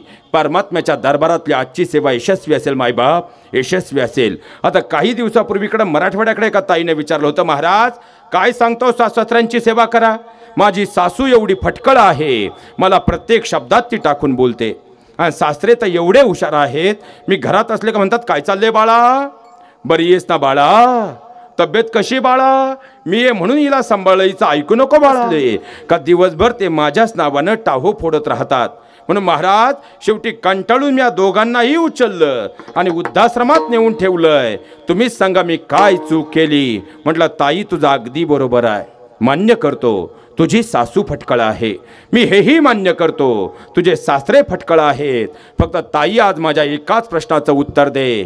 तेच तुझे सासू सासरे जर तुझे जन्म देणारे जन्मदाते आईवडील असते आणि तेही स्वभावानं असेच फटकळ असते तर त्यांनाही तू असंच उचलून वृद्धाश्रमात नेऊन ठेवलं असतं का? त्यानंतर त्या ताईकडं उत्तर नव्हतं पण त्या क्षणी माझ्या प्रश्नाचं उत्तर मात्र मला मिळालं होतं. माझ्या बहिणींना खऱ्या अर्थानं सध्या मुलीच मिळत नाही. त्यामुळे जुन्नर आंबेगावमध्ये लग्न सीजन वर्षभर चालू आहे. म्हणून हात जोडून तुम्हाला विनंती करून जातो इथून पुढं आपल्या मुलीचं लग्न करताना आजपासून आपल्या लेकीला कधीच सांगू नका. बाळा तुझं आता घर बदलणार आहे. आजपासून आपल्या लेकीच्या काळजात एकच गोष्ट बिंबवा. बाळा तुझ्या घराबरोबर पहिल्यांदा तुझं मन तुला बदलावं लागणार आहे. कारण तू ज्या घरात जाणार आहे त्या घरातल्या पुढच्या सात पिढ्यांचा स्वर्ग करायचा की नरक करायचा हे फक्त आणि फक्त तुझ्या वागण्या बोलण्या आणि संस्कारावर अवलंबून असणार आहे. अहो आपली मुलगी शिकली पाहिजे. शिकून ती डॉक्टर वकील इंजिनियर झाली पाहिजे. पण एक दिवस तिला सासरी जायचं आहे म्हणून ती संस्कारानं सुद्धा प्रगल्भ झाली पाहिजे. याचा आई म्हणून आम्ही विचार करतोय का? माझ्या बहिणींनो याचाही मात्र नक्की विचार करा. कारण जर तुमचं वागणं चांगलं असेल तुमच्या घराच्या सात पिढ्यांचा स्वर्ग होतो. पण तुमचं वागणं जर चुकलं तर घराची माती व्हायला वेळ लागत नाही. हे सगळ्यात मोठं वास्तव आहे. आता सुनबाईला बोलल्यामुळं सासूबाईंचे चेहरे खुलले. पण सासू नावाचा प्राणी एवढा सोपा आणि आपल्या गावची सासू ब ब ब ब ब ब. तिच्या पप्याचं लग्न झालं तिने निम्म्या गावात भांडणं लावून दिली. काय तुमच्या सुना? काय तुमच्या सुना? माझी सून नक्षत्र आहे नक्षत्र. आता कोरोनाच्या आधी गावात आलेल्या सगळ्या सुना सांगतो थांब सहा महिने. ती तुझीच नक्षत्र बदलीन तवाच तू जाग्यावर येशील. आता आपल्याच गावची सासू होती. ती म्हणली सुनबाई बाहेर नको पडू. तिकडून ते दाणी वादळ आलंय.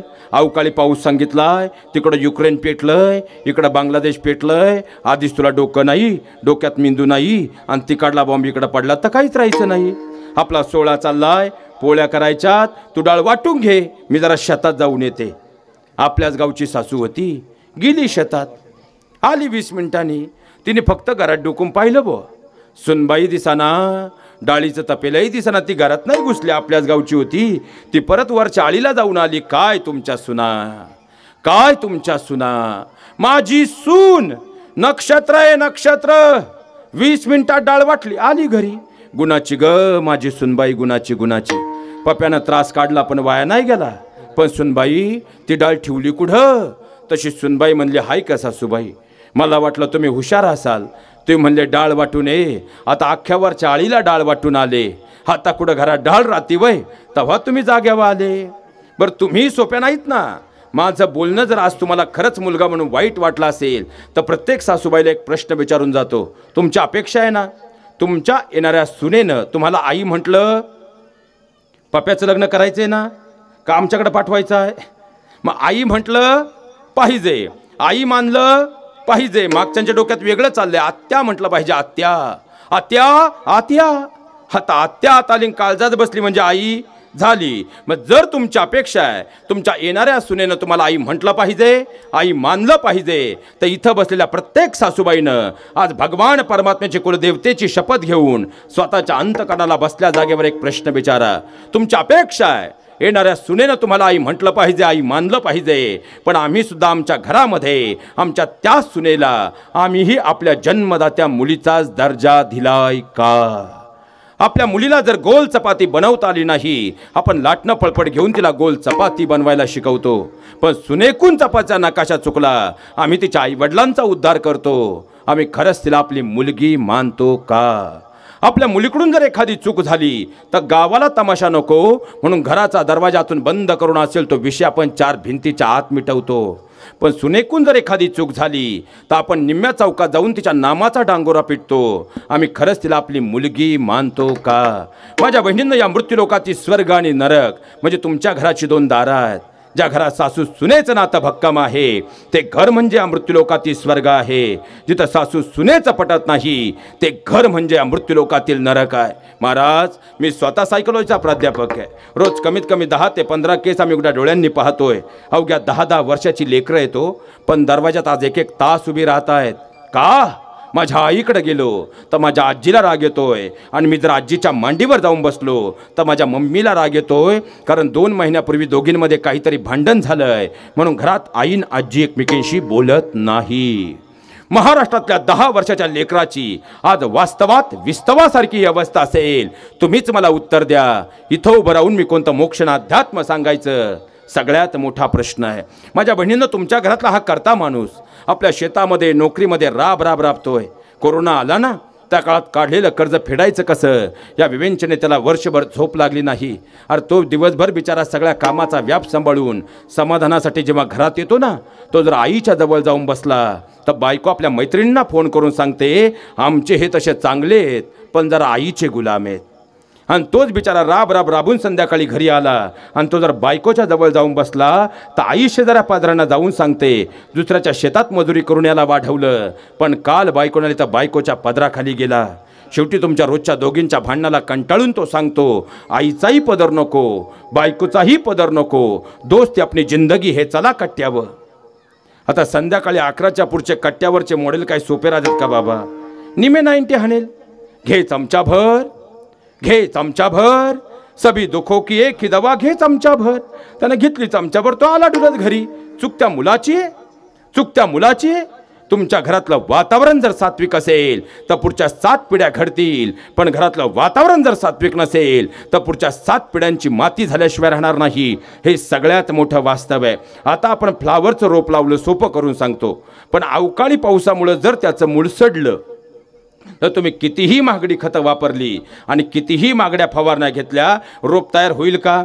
झाड होईल का? कांदा लागेल का? कारण त्याचं काय सडलंय? काय सडलंय? मूळ. मग जर मूळ सडलं असेल तर फ्लावर मिळणार नाही. त्याप्रमाणे आपल्या कुटुंबाच्या मुळाशी संस्कार नावाचं मुळच जर सडलेलं असेल आपण कितीही प्रयत्न केला आपला प्रपंच बहरेल का? मग तो कसा असेल? येरती माईक दुःखाची जनती. नाही अधियंती एकदा प्रेमानं भजन करूया.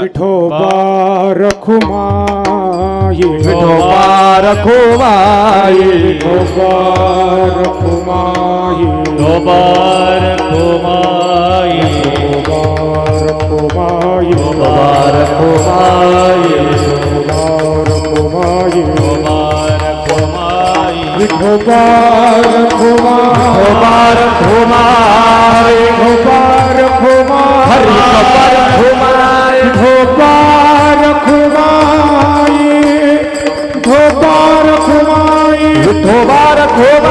खारोबार कुमार धोबा रखो घुमाए होमारोबार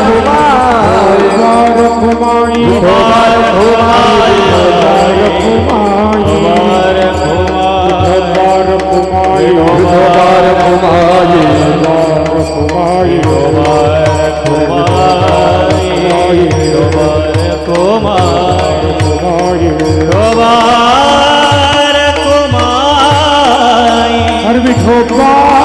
Kumar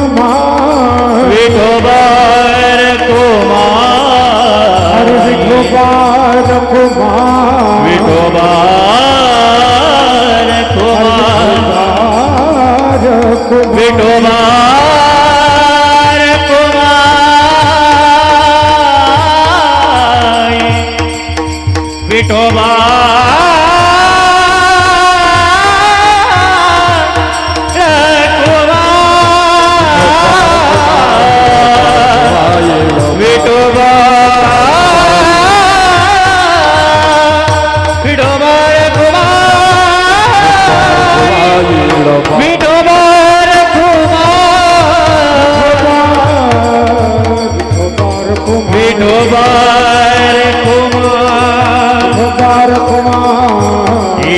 विठोबा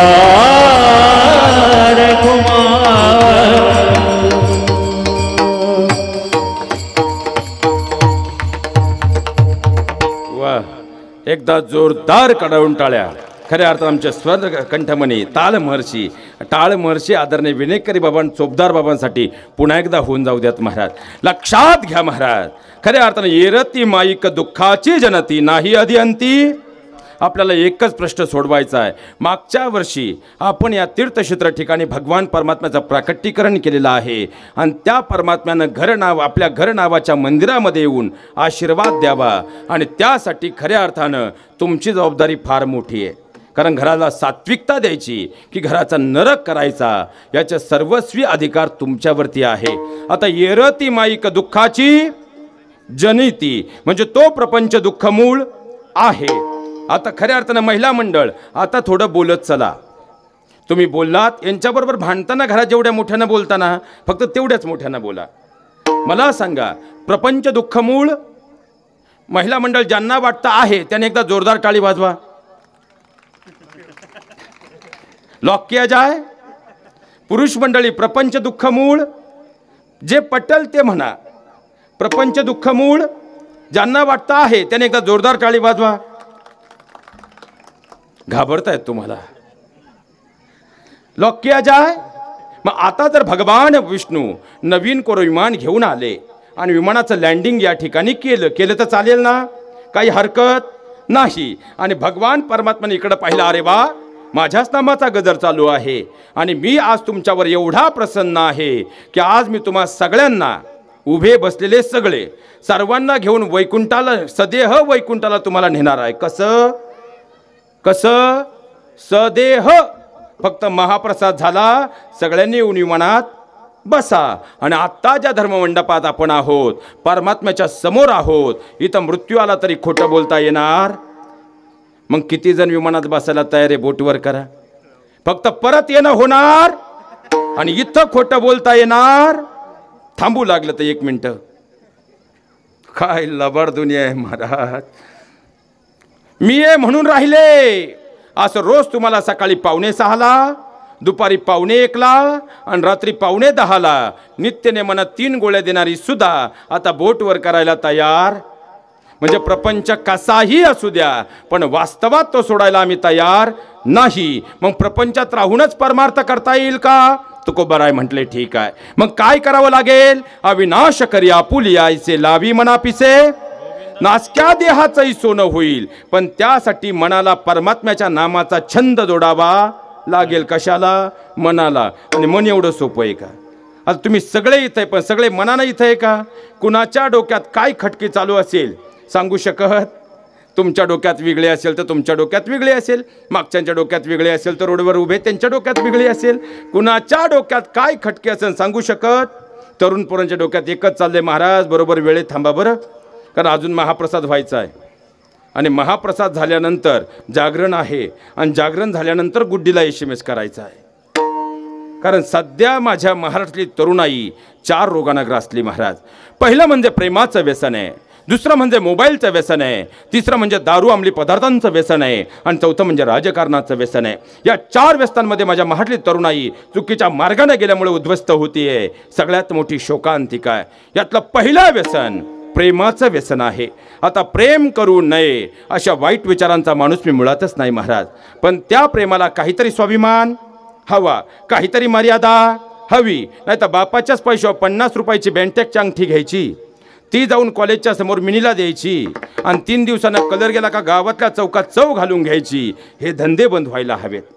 खरंच जर मर्दानगी गाजवायची असेल ना महाराज पहिले पाच पन्नास हजाराची स्वकर्तृत्व नोकरी पहा किंवा शेती करा आणि त्यानंतर तिला एक तोळा करा. ही खरी मर्दानगी आहे. बरं काय प्रेम करतंय? आता कालच कॉलेजवर एक कार्ट पाहिलं दादा. ते त्या पुरीला म्हणत होतं तुझ्या प्रेमामध्ये मी झालो ठार वेडा ती म्हणली गबस बावळ्या परवाच माझा साखरपुडा झालाय हा घे प्याडा. तेव्हा तो जागेवर आला. लय अवघड आहे. आणि सगळ्या तरुण मित्रांना हात जोडून विनंती करतो बाबांना दोन हजार चोवीस चालू आहे. शिकाल तरच टिकाल नाही तर मंचरच्या बाजारात बरमुडेची काल वा. कारण शिक्षणाशिवाय पर्याय नाही. आणि आता इथं सगळे शेतकरी आहेत का? एकदा जोरदार कडावून टाळ्या शेतकरी मुलांसाठी वाजवा महाराज. बिचारे तेवढे स्वाभिमानी आहे, पण त्यांचे एवढे वाईट दिवस कुणावं कारण ह्या आठ वर्षात जेवढं शेतकरी पोरांनी आणि ज्यांची मुलं लागणार आहे त्या बापांनी जेवढं भोगलंय तेवढं कुणीच भोगलं? निम्म्या बापांच्या डोक्यावरची केस गेलेत पप्याला गुड्डी पाहता पाहता. ते फक्त खरं कारण लग्नात पत्रिका कमी सध्या जुन्नर आंबेगाव खेड. लग्नाच्या पत्रिका कमी एवढे बायोडेटे छापायची वेळ आली. कारण प आता शेतकरी मुलांना सध्या मुली मिळत? का तुमच्या का बरं आहे? खायचं बरं आहे महाराज. सगळा दुष्काळ आहे. आता जाऊ द्या महिला मंडळ. आज जर तुम्ही बोललात तर आपली कुलदेवतेच्या समोर आपण आहोत. ह्या वर्षी पप्या जेजुरीची पायरी नक्की चढेल. पण आता जर तुम्ही गप्प राहिलात पुढचे पाच वर्ष पप्या जेजुरीची पायरी चढणार. त्यामुळं बोलावं लागेल. आणि आता मला खरं सांगा सध्या शेतकऱ्याच्या मुलांना मुली मिळत? आमटी थंड होणार नाही. काळजी करायचं कारण नाही. फक्त बोलत आणि आज बोललात तर पप्या ह्या वर्षी पिवळा होईल. पण आज जर गप्प राहिलात तर पप्या पिवळा होणार. मग खरं सांगा सध्या शेतकऱ्याच्या मुलांना मुली मिळत?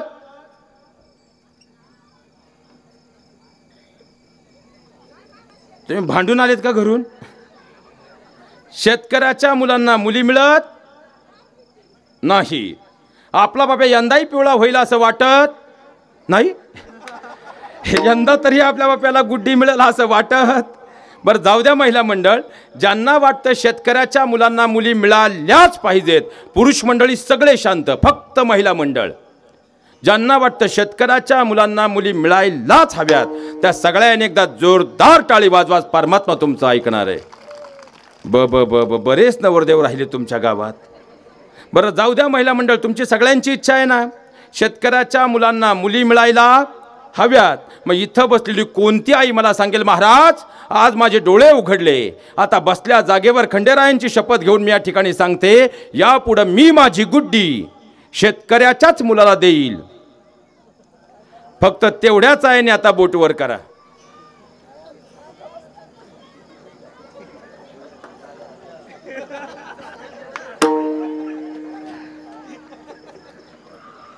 माझी गुड्डी फ्लॅटमध्ये गेली पाहिजे.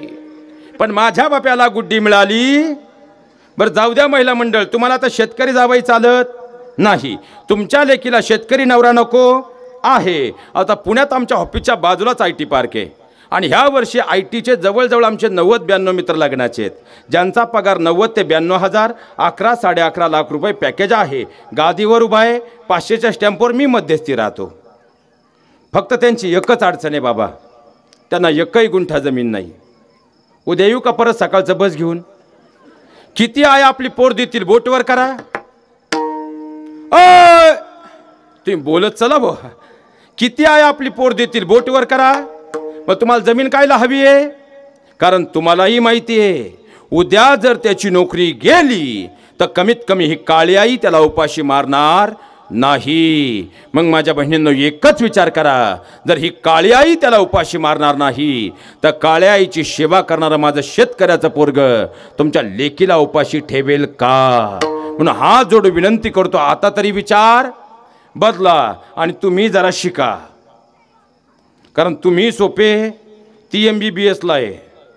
आणि हा म्हणतो आता शेळ्यांचा फार्म टाकायचा आहे. आता हे सूत्र कसं जमवायचं? तिला फॅन सोडून हवा सहन होत नाही. बरोबर आहे का चुकीचं आहे? आमची मुलं ही शिक्षणात माग आहे. हा सगळ्यात मोठा दोष आहे. आता हात जोडून तुम्हाला विनंती एक करून जातो. आता खऱ्या अर्थानं माझ्या बहिणींना माझं बोलणं कदाचित तुम्हाला वाईट वाटेल. पण गेल्या पाच वर्षापासून कन्सर्टला येणाऱ्या केसेसमध्ये एक गोष्ट आम्हाला आता प्रकर्षानं दिसू लागली आहे आणि सध्या महाराष्ट्रात होणाऱ्या घटस्फोटाच्या प्रमाणांमध्ये ऐंशी टक्के प्रकरणात मुलीच्या आईचा मुलीच्या संसारात वाढलेला हस्तक्षेप हे घटस्फोटाचं सगळ्यात मोठं कारण ठरतं आहे आता बऱ्याचशा सासूबाईंना बरं वाटलं पण संध्याकाळी आठ वाजले का तुमचाही मुलीला फोन आहे. तुम्हीसुद्धा तुम्ही सुद्धा बदलायला हवं. बरं तुम्ही रोज मुलीला काय सांगताय? शेतकरी नवरा करायचा? आता गप राहाल तुम्ही. शेतकरी नवरा करायचा? नाही. शेतीत काम करायचं नाही. उन्हात जायचं नाही. तिकडं पाहायचं सुद्धा नाही. आता परमात्म्याची कृपा झाली आणि तुमच्या लेकीला वीस लाख पॅकेज असणारा मुलगा मिळाला. पण काही कारणामुळं जर त्याची नोकरी गेली आणि त्याला कायमचं गावी येण्याची वेळ आली तर इथं बसलेल्या किती आया सरळ आपल्या मुलीचा हात धरून तिला माहेरी नांदायला आणतील. फक्त तेवढ्या आयांनी आता बोटवर करा. आणि ज्या सांगतील बाळा कष्टाशिवाय पर्याय नाही कष्ट करून तुमचं कुटुंब घडवा. त्याने एकदा जोरदार टाळी वाजवा. ऐंशी सीटर बस आहे का दादा गावात? बरं द्या काशीला पाठवून आता करता काय? तुम्ही आमुलीला मुलीला काय सांगताय? शेती करायची? नाही. शेतात काम करायचं? नाही. उन्हात जायचं? नाही. आता मुलगी ऐकेल का? आणि शेवटी त्या कुटुंबात वाद झाले. आणि मुलगी जर माहेरी आली तर आईचं आयुष्य चार वर्षानं वडिलांचं आयुष्य दोन वर्षानं आणि मुलीचा संबंध जीवन बर्बाद होतं. हे जीवनात कधी विसरू नका. हात जोडून तुम्हाला विनंती करतो इथून पुढं पार्ट्या नाही. पहिली कार्टी सरळ आहेत का हे तपासून लग्न करा.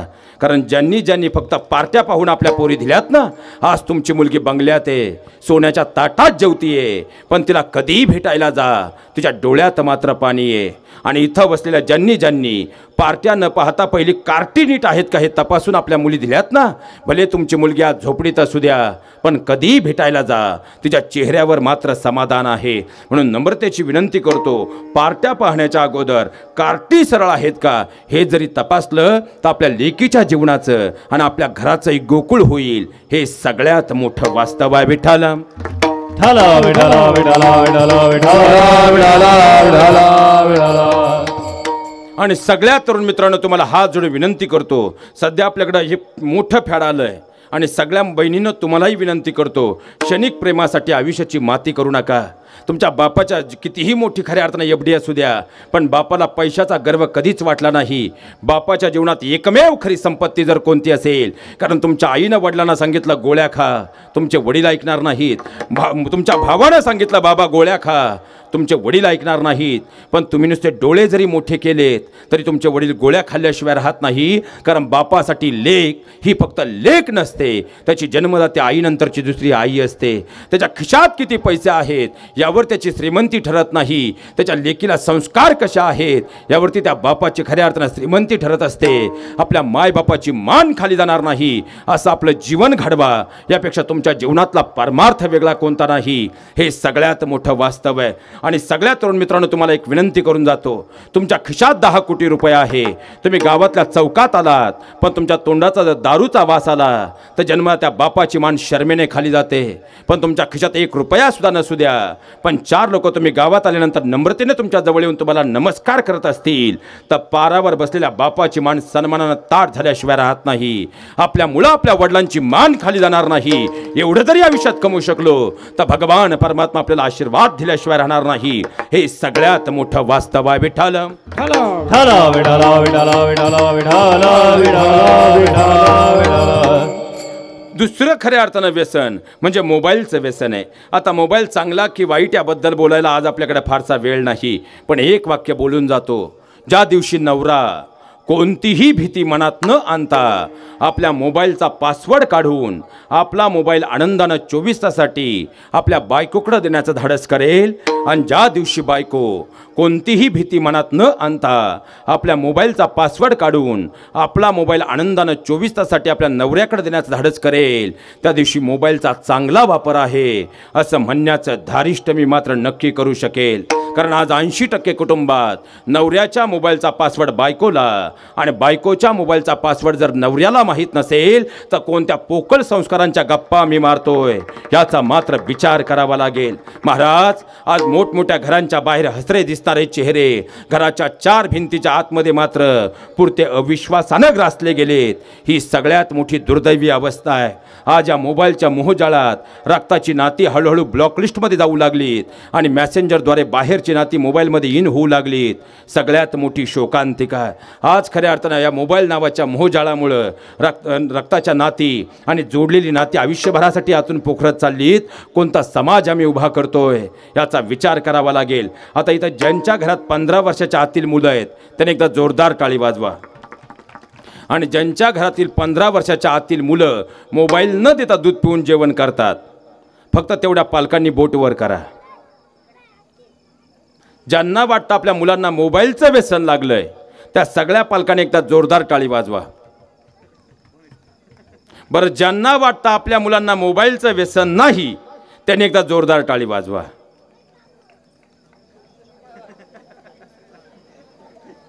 पत्रवळी तिकडे ठेवल्यात का? बरं जाऊ द्या. आता यावर मी उत्तर देणार नाही. फक्त जर तुम्हाला वाटलं तुमच्या मुलाच्या हातातला मोबाईल सुटावा. आता तुमच्या मुलांना व्यसन लागलं? नाही. लागलं असतं तर सांगितलं असतं. पण जर कधी लागलं तर आम्हाला पुण्यात ऑफिसला घेऊन या. आणि पाच तास तुमचं लेकरू माझ्याकडे द्या. पाच तासानंतर जर त्यांनी मोबाईल घेतला एक लाख एक्कावन्न हजार रुपये नो चेक कॅश घेऊन जा. फक्त त्या पाच तासाची फी सत्त्याण्णव हजार रुपये. नाही तेवढा खर्च येतोच महाराज. पण आज एकच वाक्य सांगून जातो. जर तुम्हाला मोबाईल सोडावा तुमच्या मुलांनी असं वाटत असेल तर फक्त संध्याकाळी सात ते रात्री दहा. जर तुम्ही मोबाईल घेतला नाही तर तुमची लेकरंसुद्धा मोबाईल मागणार. तुमच्या हातात मोबाईल दिसतो म्हणून मुलं मोबाईल मागतात. महिला मंडळ तुम्हाला उतार वयात तुमची मुलं सांभाळणारे का मोबाईल?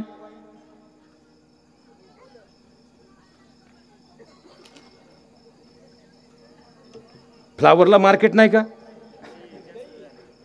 त्याच्यामुळेच गप झाले ते आता. बोलायला जावं ईडी यावं यावं. मला सांगा म्हणून तर आता प्रत्येक सासू सध्या रडू रडू सुनाला सांगती तिच्या हातात मोबाईल आता खऱ्या अर्थानं. कारण काय झाले महाराज आता आजी मला खरं सांगा तुमचं बालपणीच्या काळात संध्याकाळी सात वाजले का तुमची आई ज्ञानेश्वरी घेऊन बसायची की नाही? तिनं ज्ञानेश्वरी घेतली. का तुम्हाला काही कळत नव्हतं पण ज्ञानेश्वरी घेऊन तिच्या बाजूला तुम्ही बसायचे का नाही? आताची मम्मा काय करते? मग ते लेकरू काय शिकल? बरं आता मला सांगा आजी खरं बोला. संध्याकाळी सात वाजलं का तुम्ही ज्ञानेश्वरी हातात घेता का? तुम्ही नातीसोबत रिमोटवरून भांडताय. कसा काळ बदलेल? बरोबर आहे का चुकीचं आहे? कारण लक्षात घ्या महाराज पहिल्यांदा घर बदलणं गरजेचं आहे. कारण आज प्रत्येक सासू फक्त मला सांगा तुम्हाला सासरवास होता का नव्हता? पण तुम्ही जर जास्त बोलले असते तर माहेरी पाठवलं असतं. आता सुनेला तुम्ही बोलू शकता का? ती बोलल्यावर ती आपल्याला घरात ठेवील का?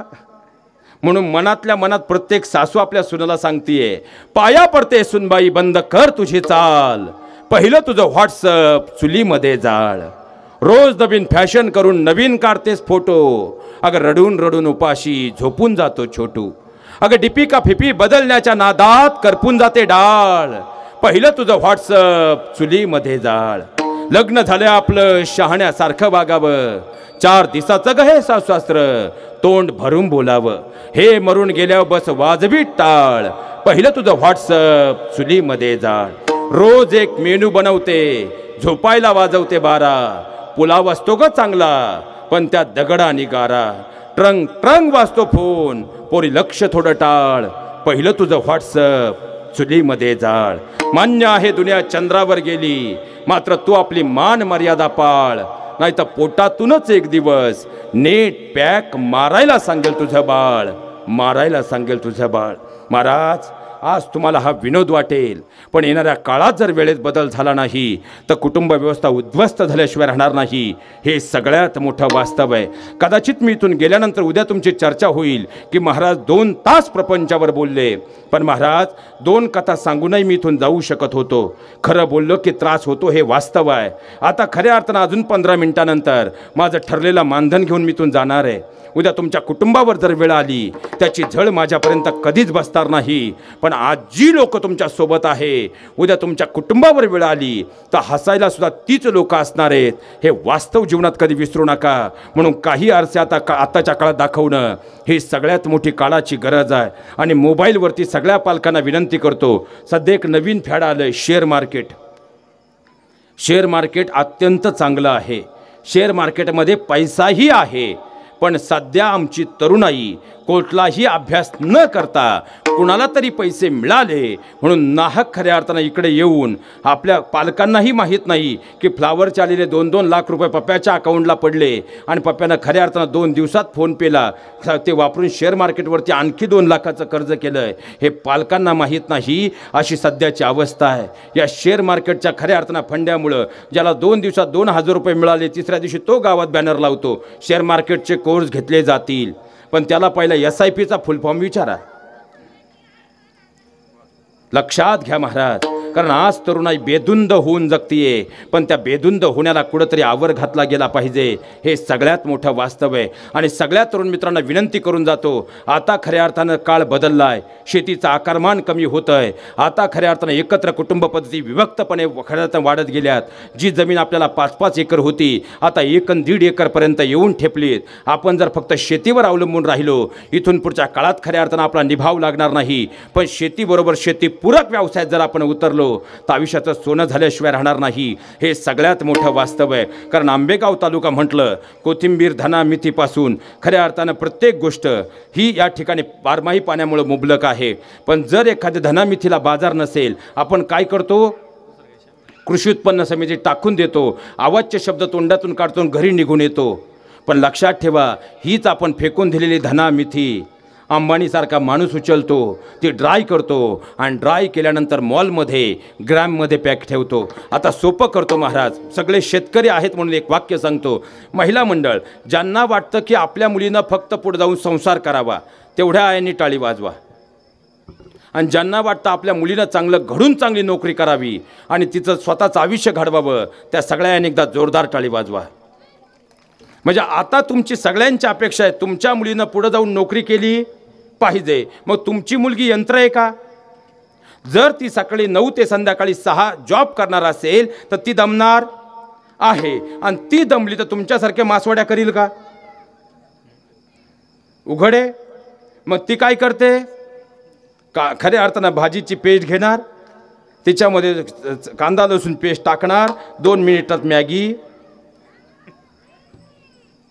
आणि हेच ओळखून इथून पुढच्या काळात जर आपला ड्रायरचा वापर करून आपली मुलं व्यवसायात पुढे जाऊ शकली कारण खऱ्या अर्थानं आजही पहा ज्वारी आपल्याकडे किती आहे?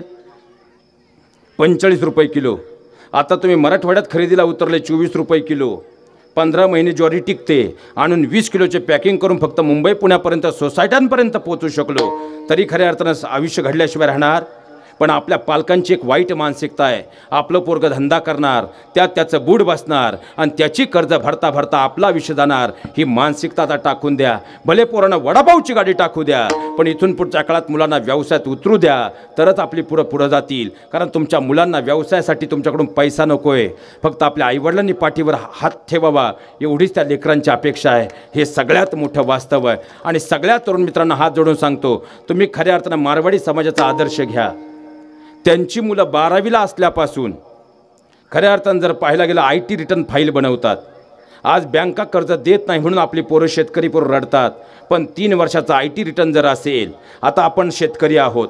आपल्याकडे सातबारा आहे. फक्त आपण जर जी एस टीची बिलं घेतली तर एक रुपया तरी भरावा लागेल का?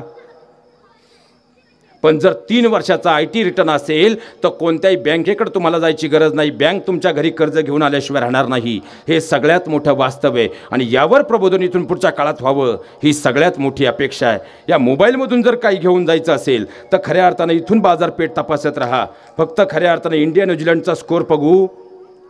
कारण त्याचा स्कोर कितीही झाला ते लाखानं पॅकेज घेऊन जाणार आहेत. इथं हे आत्ता फ्लावरला मार्केट चांगलं आहे म्हणून बरं आहे. पण जर घाण्या आला तर त्या बापाचे सगळे रन मायनसमध्ये जातात. हे विसरू नका. आणि त्याच्यावर रन नाही तर ऋण चढतं. हे जीवनात कधी विसरू नका. एवढी मात्र अपेक्षा करतो. खऱ्या अर्थानं तिसरं व्यसन राजकारणाचं व्यसन आहे. सध्या आचारसंहिता चालू आहे. त्यावर मी काही बोलणार. फक्त नम्रतेची एक विनंती करून जातो. जीवनात कधीही कुणाची जिरवाजिरवी कारण राजकारण आपल्याकडून होऊ नये. तर खऱ्या अर्थानं पावसाचं पाणी प- पडणारं पाणी जिरवणारं राजकारण आपल्याकडून झालं. बारमाही पाणी मुबलक राहतं. कधीच कुणाची लावालावी कारण राजकारण आपल्या हातून जीवनात कधी होऊ नये. त्यापेक्षा पर्यावरणाच्या समृद्धीसाठी झाडे लावा झाडे जगवाचं समाजकारण झालं. तर पर्यावरणाचा समतोल राखल्याशिवाय राहणार नाही. राजकारणातून कुणाच्या डोक्यात कधी कुराड घालण्याचा विचार येऊ नये. त्यापेक्षा गावाच्या भल्यासाठी राळेगण सिद्धीसारखं कुराडबंदी चराईबंदीचे निर्णय गावागावात झाले. तर पर्यावरण समृद्ध झाल्याशिवाय राहणार नाही. हे सगळ्यात मोठं वास्तव आहे. आणि चौथं व्यसन म्हणजे खऱ्या अर्थानं दारू अंमली पदार्थांचं व्यसन आहे. कारण गेल्या काही काळात जर पाहिलं अंमली पदार्थांचे मोठमोठे साठे सापडत आहेत आणि आजची परिस्थिती अशी आहे जर तुम्ही मुंबईमध्ये गेलात तर मुंबईमध्ये हुक्का पार्लरमध्ये जाणाऱ्यांची संख्येमध्ये मुलांपेक्षा मुलींची संख्या अधिक आहे. आणि त्याचे फ्लेवर एवढे आलेत की आता मुलं तुळ सुतळी हातामध्ये घेतात. सुतळीला तो हुक्का लावतात आणि खऱ्या अर्थानं हुक्का ओढून आलेली मुलं घरी आल्यानंतर कळून येत नाही की मुलं हुक्का ओढून आलीत. इथपर्यंतची परिस्थिती भयानक झाली आहे. आणि मुली पळून जातात मुलं पळून जातात मुलं चुकीच्या मार्गाला जातात. म्हणून पोलीस डिपार्टमेंटला खऱ्या अर्थानं त्रास देऊ नका. याचं कारण सांगतो महाराज आपल्या मनामध्ये पोलिसांबद्दल अनेक मतप्रभाव आहेत. पण दोन हजार अठराला सर्वात जास्त आत्महत्या जर कुणाच्या असतील पोलीस बांधवांच्या आहे कारण डिप्रेशनचा सगळ्यात मोठा आजार त्यांच्याकडं आहे. हात जोडून नम्रतेची विनंती करतो. कारण प्रत्येक क्षणी जीव ज्याचा उलीस आहे ओळखलत का महाराज? त्याचं नाव पोलीस आहे.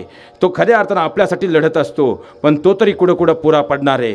फक्त पालकांनी एकच करावं. आठवड्यातून एक दिवस आपल्या मुलाच्या किंवा मुलीच्या गेटच्या समोर जावं आणि बाजूला उभं राहून आपल्या मुलीला किंवा मुलाला फोन करून सा विचारावं कुठं आहेस त्यानं जर तुम्हाला योग्य लोकेशन सांगितलं तर लक्षात घ्या आपली मुलं लोकेशनात आहे. पण जर त्यानं तुम्हाला चुकीचं लोकेशन सांगितलं तर आपल्या मुलाच्या आणि मुलीच्या लोकेशनवर नजर ठेवण्याची वेळ आली आहे. एवढं तपासून जरी मुलांवर लक्ष ठेवलं नव्वद टक्के प्रकरणं क्षणात थांबली जातील. हे सगळ्यात मोठं वास्तव आहे विठ्ठल. आणि म्हणून खऱ्या अर्थानं फक्त जाताना दोन गोष्टी बोलतो कारण खऱ्या अर्थानं एक दहा पंधरा मिनटं आहे दहा मिनटं? पाच मिनटं साहेब येणार आहेत. आपल्याकडे शेवटचे पाच मिनटं आहेत. फक्त एक गोष्ट सांगून जातो.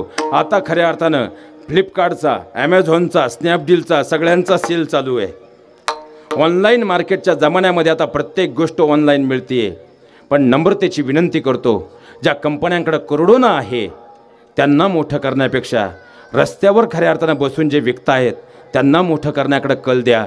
एवढी मात्र नम्रतेची विनंती करतो. ऑनलाईन व्यापाराला मोठा करण्यापेक्षाही गावातील किराणा मालाच्या दुकानदाराला मोठं करा. वेळ पडल्यानंतर तोच उधार देणार. आहे हे वास्तव आहे आणि दुकानदारांना नम्रतेची विनंती आहे. भाव व्यवस्थित घ्या कारण ऑनलाईनचा जमाना आहे. एवढी नम्रतेची विनंती करतो आणि जाताना फक्त सगळ्यांना माझ्या बहिणींना हात जोडून तुम्हाला जाताना फक्त जर तुम्हाला वाटत असेल आपल्या घराचं गोकुळ व्हावं आणि परमात्मा आपल्या घरापर्यंत यावा. कारण आज आपण एकाच गोष्टीवरती चिंतन पाहिलं आहे मंदिर उभं राहिलं. मंदिरामध्ये मागच्या वर्षी प्राणप्रतिष्ठा सोहळा झाला. आणि खऱ्या अर्थानं हा प्राणप्रतिष्ठा सोहळा झाल्यानंतर आता आपल्या घराचंही जर आपल्याला मंदिर करता आलं आणि त्या मंदिरामध्ये आपले कुलदैवत असणाऱ्या खंडोबरायांचं आगमन झालं तर खऱ्या अर्थानं स्वर्ग पाहण्याची गरज नाही. आपलं घर स्वर्ग झाल्याशिवाय राहणार नाही. हे सगळ्यात मोठं वास्तव आहे. पण माझ्या बहिणीनं जाताना मात्र आज एक नम्रतेची विनंती तुम्हाला करून जातो. कारण आमच्याकडं कॉन्सर्टला येणाऱ्या केसेसमध्ये सत्तर टक्के प्रकरणांमध्ये गेल्या पाच वर्षापासून एक गोष्ट प्रकर्षानं पुढं दिसू लागली. आणि ती म्हणजे सध्या नव्वद टक्के ग्रामीण आणि शहरी कुटुंबांमध्ये मुलांचा हट्टीपणा प्रचंड वाढला आहे मुलं उलटं फिरून बोलण्याचं प्रमाण वेगानं वाढत चाललं आहे कितीही समजून सांगण्याचा प्रयत्न केला तरी मुलं सध्या ऐकत नाहीत. आणि याची अनेक कारणं आहेत पण त्याचे सगळ्यात महत्त्वाचं जर कारण कोणतं असेल माझ्या बहिणींनो सायकोलॉजिस्ट म्हणून एक वाक्य सांगून जातो ज्या घरातल्या आजी आजोबांना घराच्या मध्यभागी सन्मानाचं स्थान आहे काळ कितीही बिघडू द्या तुमची लेकरं कधी बिघडणार नाही. पण ज्या घरातल्या आजी आजोबांना घराच्या कोपऱ्यात स्थान आहे परिस्थिती कशी असू द्या तुमची लेकरं बिघडल्याशिवाय राहणार नाही. हे सगळ्यात मोठं वास्तव आहे. कारण इथं आता वयस्कर पिढी बसलेली आहे. आणि बाबा तुमच्या जर तारुण्याचा बालपणीचा काळ पाहिला चाळीस पन्नास वर्ष जर आपण मागं गेलो तर चाळीस पन्नास वर्षापूर्वी खऱ्या अर्थानं पाहिला गेलं तर पन्नास वर्षापूर्वीचा काळ म्हणजे आपल्या दारासमोर चांबड्याची मोठ होती. चांबड्याची मोठ होती तोपर्यंत नाडा होता. नाडा होता तोपर्यंत सौंदड होती. वाहणारं पाटाचं पाणी होतं. खळखळ वाहणाऱ्या पाण्यामध्ये नात्यांचा मात्र खऱ्या अर्थानं आनंद होता. कालांतरानं चमड्याची मोठ बाजूला पडली आणि पत्र्याची मोठ आली. त्या पत्र्याच्या मोठीला खऱ्या अर्थानं घुंगरं लावलेली असायची. पात्राची मोठ आली तशी सौंदड बाजूला पडली. नाडा वाहणारा पाठ मात्र निष्पक्षपणे वाहत होता. कालांतरानं बोरवेल नावाची क्रांती झाली आणि नाडा मोठ सौंदड पाहता पाहता कायमचं बाजूला पडलं. एकोणीसशे पंच्याऐंशी दशकापर्यंत पाहिलं आमच्या घरामध्ये जातं होतं. जात्यावर ओवी होती. घरातल्या जावा जावांचं खऱ्या अर्थानं त्या ओवीवरचं गीत जावा जावांमधलं प्रेम सांगत होतं. हळूहळू गावामध्ये चक्की आली. कोहिनूरची नंतर क्रांती झाली. आणि पाहता पाहता खऱ्या अर्थानं ते जळण धरणारं खऱ्या अर्थानं आमच्या घरातली पाहिला गेली. दगडी जातं बाजूला पडलं. पण जसं जातं बाजूला पडलं तसं जावा जावांमधलं प्रेमही संपुष्टात आलं. नव्वदच्या दशकापर्यंत आमच्या घरामध्ये चांबड्याची पिशवी होती. पिशवीमध्ये रेडिओ होता. आणि त्या रेडिओवरती सकाळी पावणेपाच वाजता फिनेलोकच्या जाहिरातीनं आमच्या घरातला दिवस सुरू व्हायचा. कालांतरानं दूरचित्रवाणी आली आणि पाहता पाहता ते चांबड्याची पिशवी पिशवीतला रेडिओ मात्र कायमचा बाजूला पडला. ब्याण्णवच्या दशकापर्यंत आमच्या घराच्या बाहेर तार लावलेली असायची. त्या तारेवरती खऱ्या अर्थानं आलेला पोस्टमन पत्र अडकून निघून जायचा. ते पत्र वाचताना भाषा जरी कळत नसेल तर ममत्वाचा गंध मात्र त्यातून झिरपत होता. सेलफोनची क्रांती झाली आणि पाहता पाहता ते तार पत्र पोस्टमन त्याची सायकल घंटी सगळं बाजूला पडलं. सत्त्याण्णवच्या दशकापर्यंत आमच्या घरामध्ये स्टोव होता. स्टोवसाठी पिन होती. घरात कितीही मोठं भांडण झालं स्टोवच्या आवाजामध्ये त्या भिंतीच्या आतमध्ये मिखरून जायचं. कालांतरानं शांत असणारा घ्यास आला. पण घरातलं वातावरण मात्र अशांत करून गेला. दोन हजार सालापर्यंत आपल्याकडं शेणामुतानं सारवलेली घरं होती. उसाचं वरती असणारं पाचटही त्या घरातल्या खऱ्या अर्थानं शांततेचं घरातल्या निर्मळतेचं लोभाविना मायेचं प्रतीक दाखवत होती. हळूहळू मार्बलची क्रांती झाली. पाहता पाहता स्लॅब पडू लागले. पण त्या घरातली माया मात्र कायमची संपुष्टात आली. पण या सगळ्या परिस्थितीमध्ये प्रत्येक गोष्टीला एक पर्याय निर्माण झाला. मोड गेली कारण खऱ्या अर्थानं बोरवेल आले. पाहता पाहता रेडिओ गेला कारण दूरचित्रवाणी आली. पत्र गेलं कारण सेलफोन आला. पण एक गोष्ट मात्र गेल्या काही वर्षापासून तुमच्या माझ्या घरात वेगानं बदलत चालली आहे आणि ती गोष्ट म्हणजे तुमच्या माझ्या घरातल्या आजी आजोबांचं स्थान. मी पुन्हा तेच सांगेल. ज्या घरातल्या आजी आजोबांना घराच्या मध्यभागी स्थान आहे परिस्थिती कितीही बिघडू द्या तुमची लेकरं घडतील. पण जर घराच्या कोपऱ्यात आजी आजोबा गेले काळ कितीही सुंदर येऊ द्या तुमची लेखरं घडल्याशिवाय राहणार नाही. माझ्या बहिणींनो खऱ्या अर्थानं हात जोडून तुम्हाला विनंती करतो कारण आजोबा आणि आजींच्या जीवनामध्ये हा आजोबा या शब्दाचा अर्थ आहे. हा म्हणजे आहे तोपर्यंत कुटुंबाला बांधून ठेवणारा.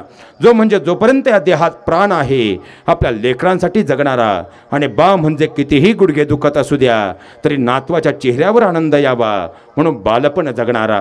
तर आजी या शब्दाचा अर्थ आहे आ म्हणजे आहे तोपर्यंत कुटुंबाला बांधून ठेवणारा. आणि जी म्हणजे जिच्यामुळं घराच्या ममत्वाला कळस आहे ती म्हणजे आजी. कारण आजी आजोबांच्या जीवनामध्ये डोळे मिटण्यापूर्वीचा श्रीहरी विठ्ठल जर कोण असेल ती त्यांची नातवंड आहे. आणि नातवंडांच्या जीवनामध्ये डोळे उघडल्यानंतर पहिला हक्काचा मित्र म्हणजे त्यांच्या आजी आजोबा आहेत.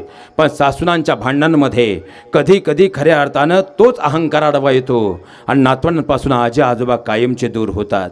माझ्या बहिणीनं नम्रतेची विनंती करून जातो. एक वेळ तुम्ही तुमच्या सासऱ्यांना उपाशी ठेवलं तरी ते आनंदानं जगतील.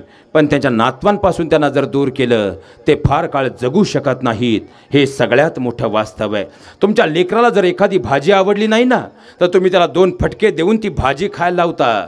पण त्या घरात जर आजी आजोबा असतील तर आजोबा कधी त्या लेकराला मांडीवर घेतील कधी एखादी गोष्ट सांगतील आणि खऱ्या अर्थानं न आवडणारी भाजी आजी कधी त्या लेकराच्या मुखात घाली कळूनसुद्धा येणार नाही. पण आज आमची ताई शिक्षणानं प्रगल्भ झाली. लाखाचे पॅकेज कोटीपर्यंत जाऊन पोचले. आणि आम्ही बाळ जन्माला घालण्या अगोदर एका गोंड शब्दाला जन्म दिला. आणि तो शब्द म्हणजे प्रायव्हेसी. या प्रायव्हेसी नावाच्या गोंड शब्दामध्ये आज कुटुंब व्यवस्थेत आजी आजोबा आडगळ वाटू लागले. म्हणून अलगदपणे ते कुटुंबांपासून दूर जाऊ लागले. पण लक्षात ठेवा म्हणून तो शनिवार रविवार आला की ही छोटी छोटी नातवं आपल्या मॉडर्न झालेल्या मम्मीचा हात हातात घेतात. आणि काकुळतीला येऊन आपल्या मॉडर्न मम्मीला सांगतात उद्या परवा सुट्टी आहे पटकन येऊ जाऊन.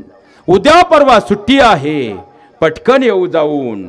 चल ना ग मम्मी मला माझ्या आजी आजोबांकडे घेऊन. त्यांच्या थरथरणाऱ्या काठीला बळ मिळतं बघ.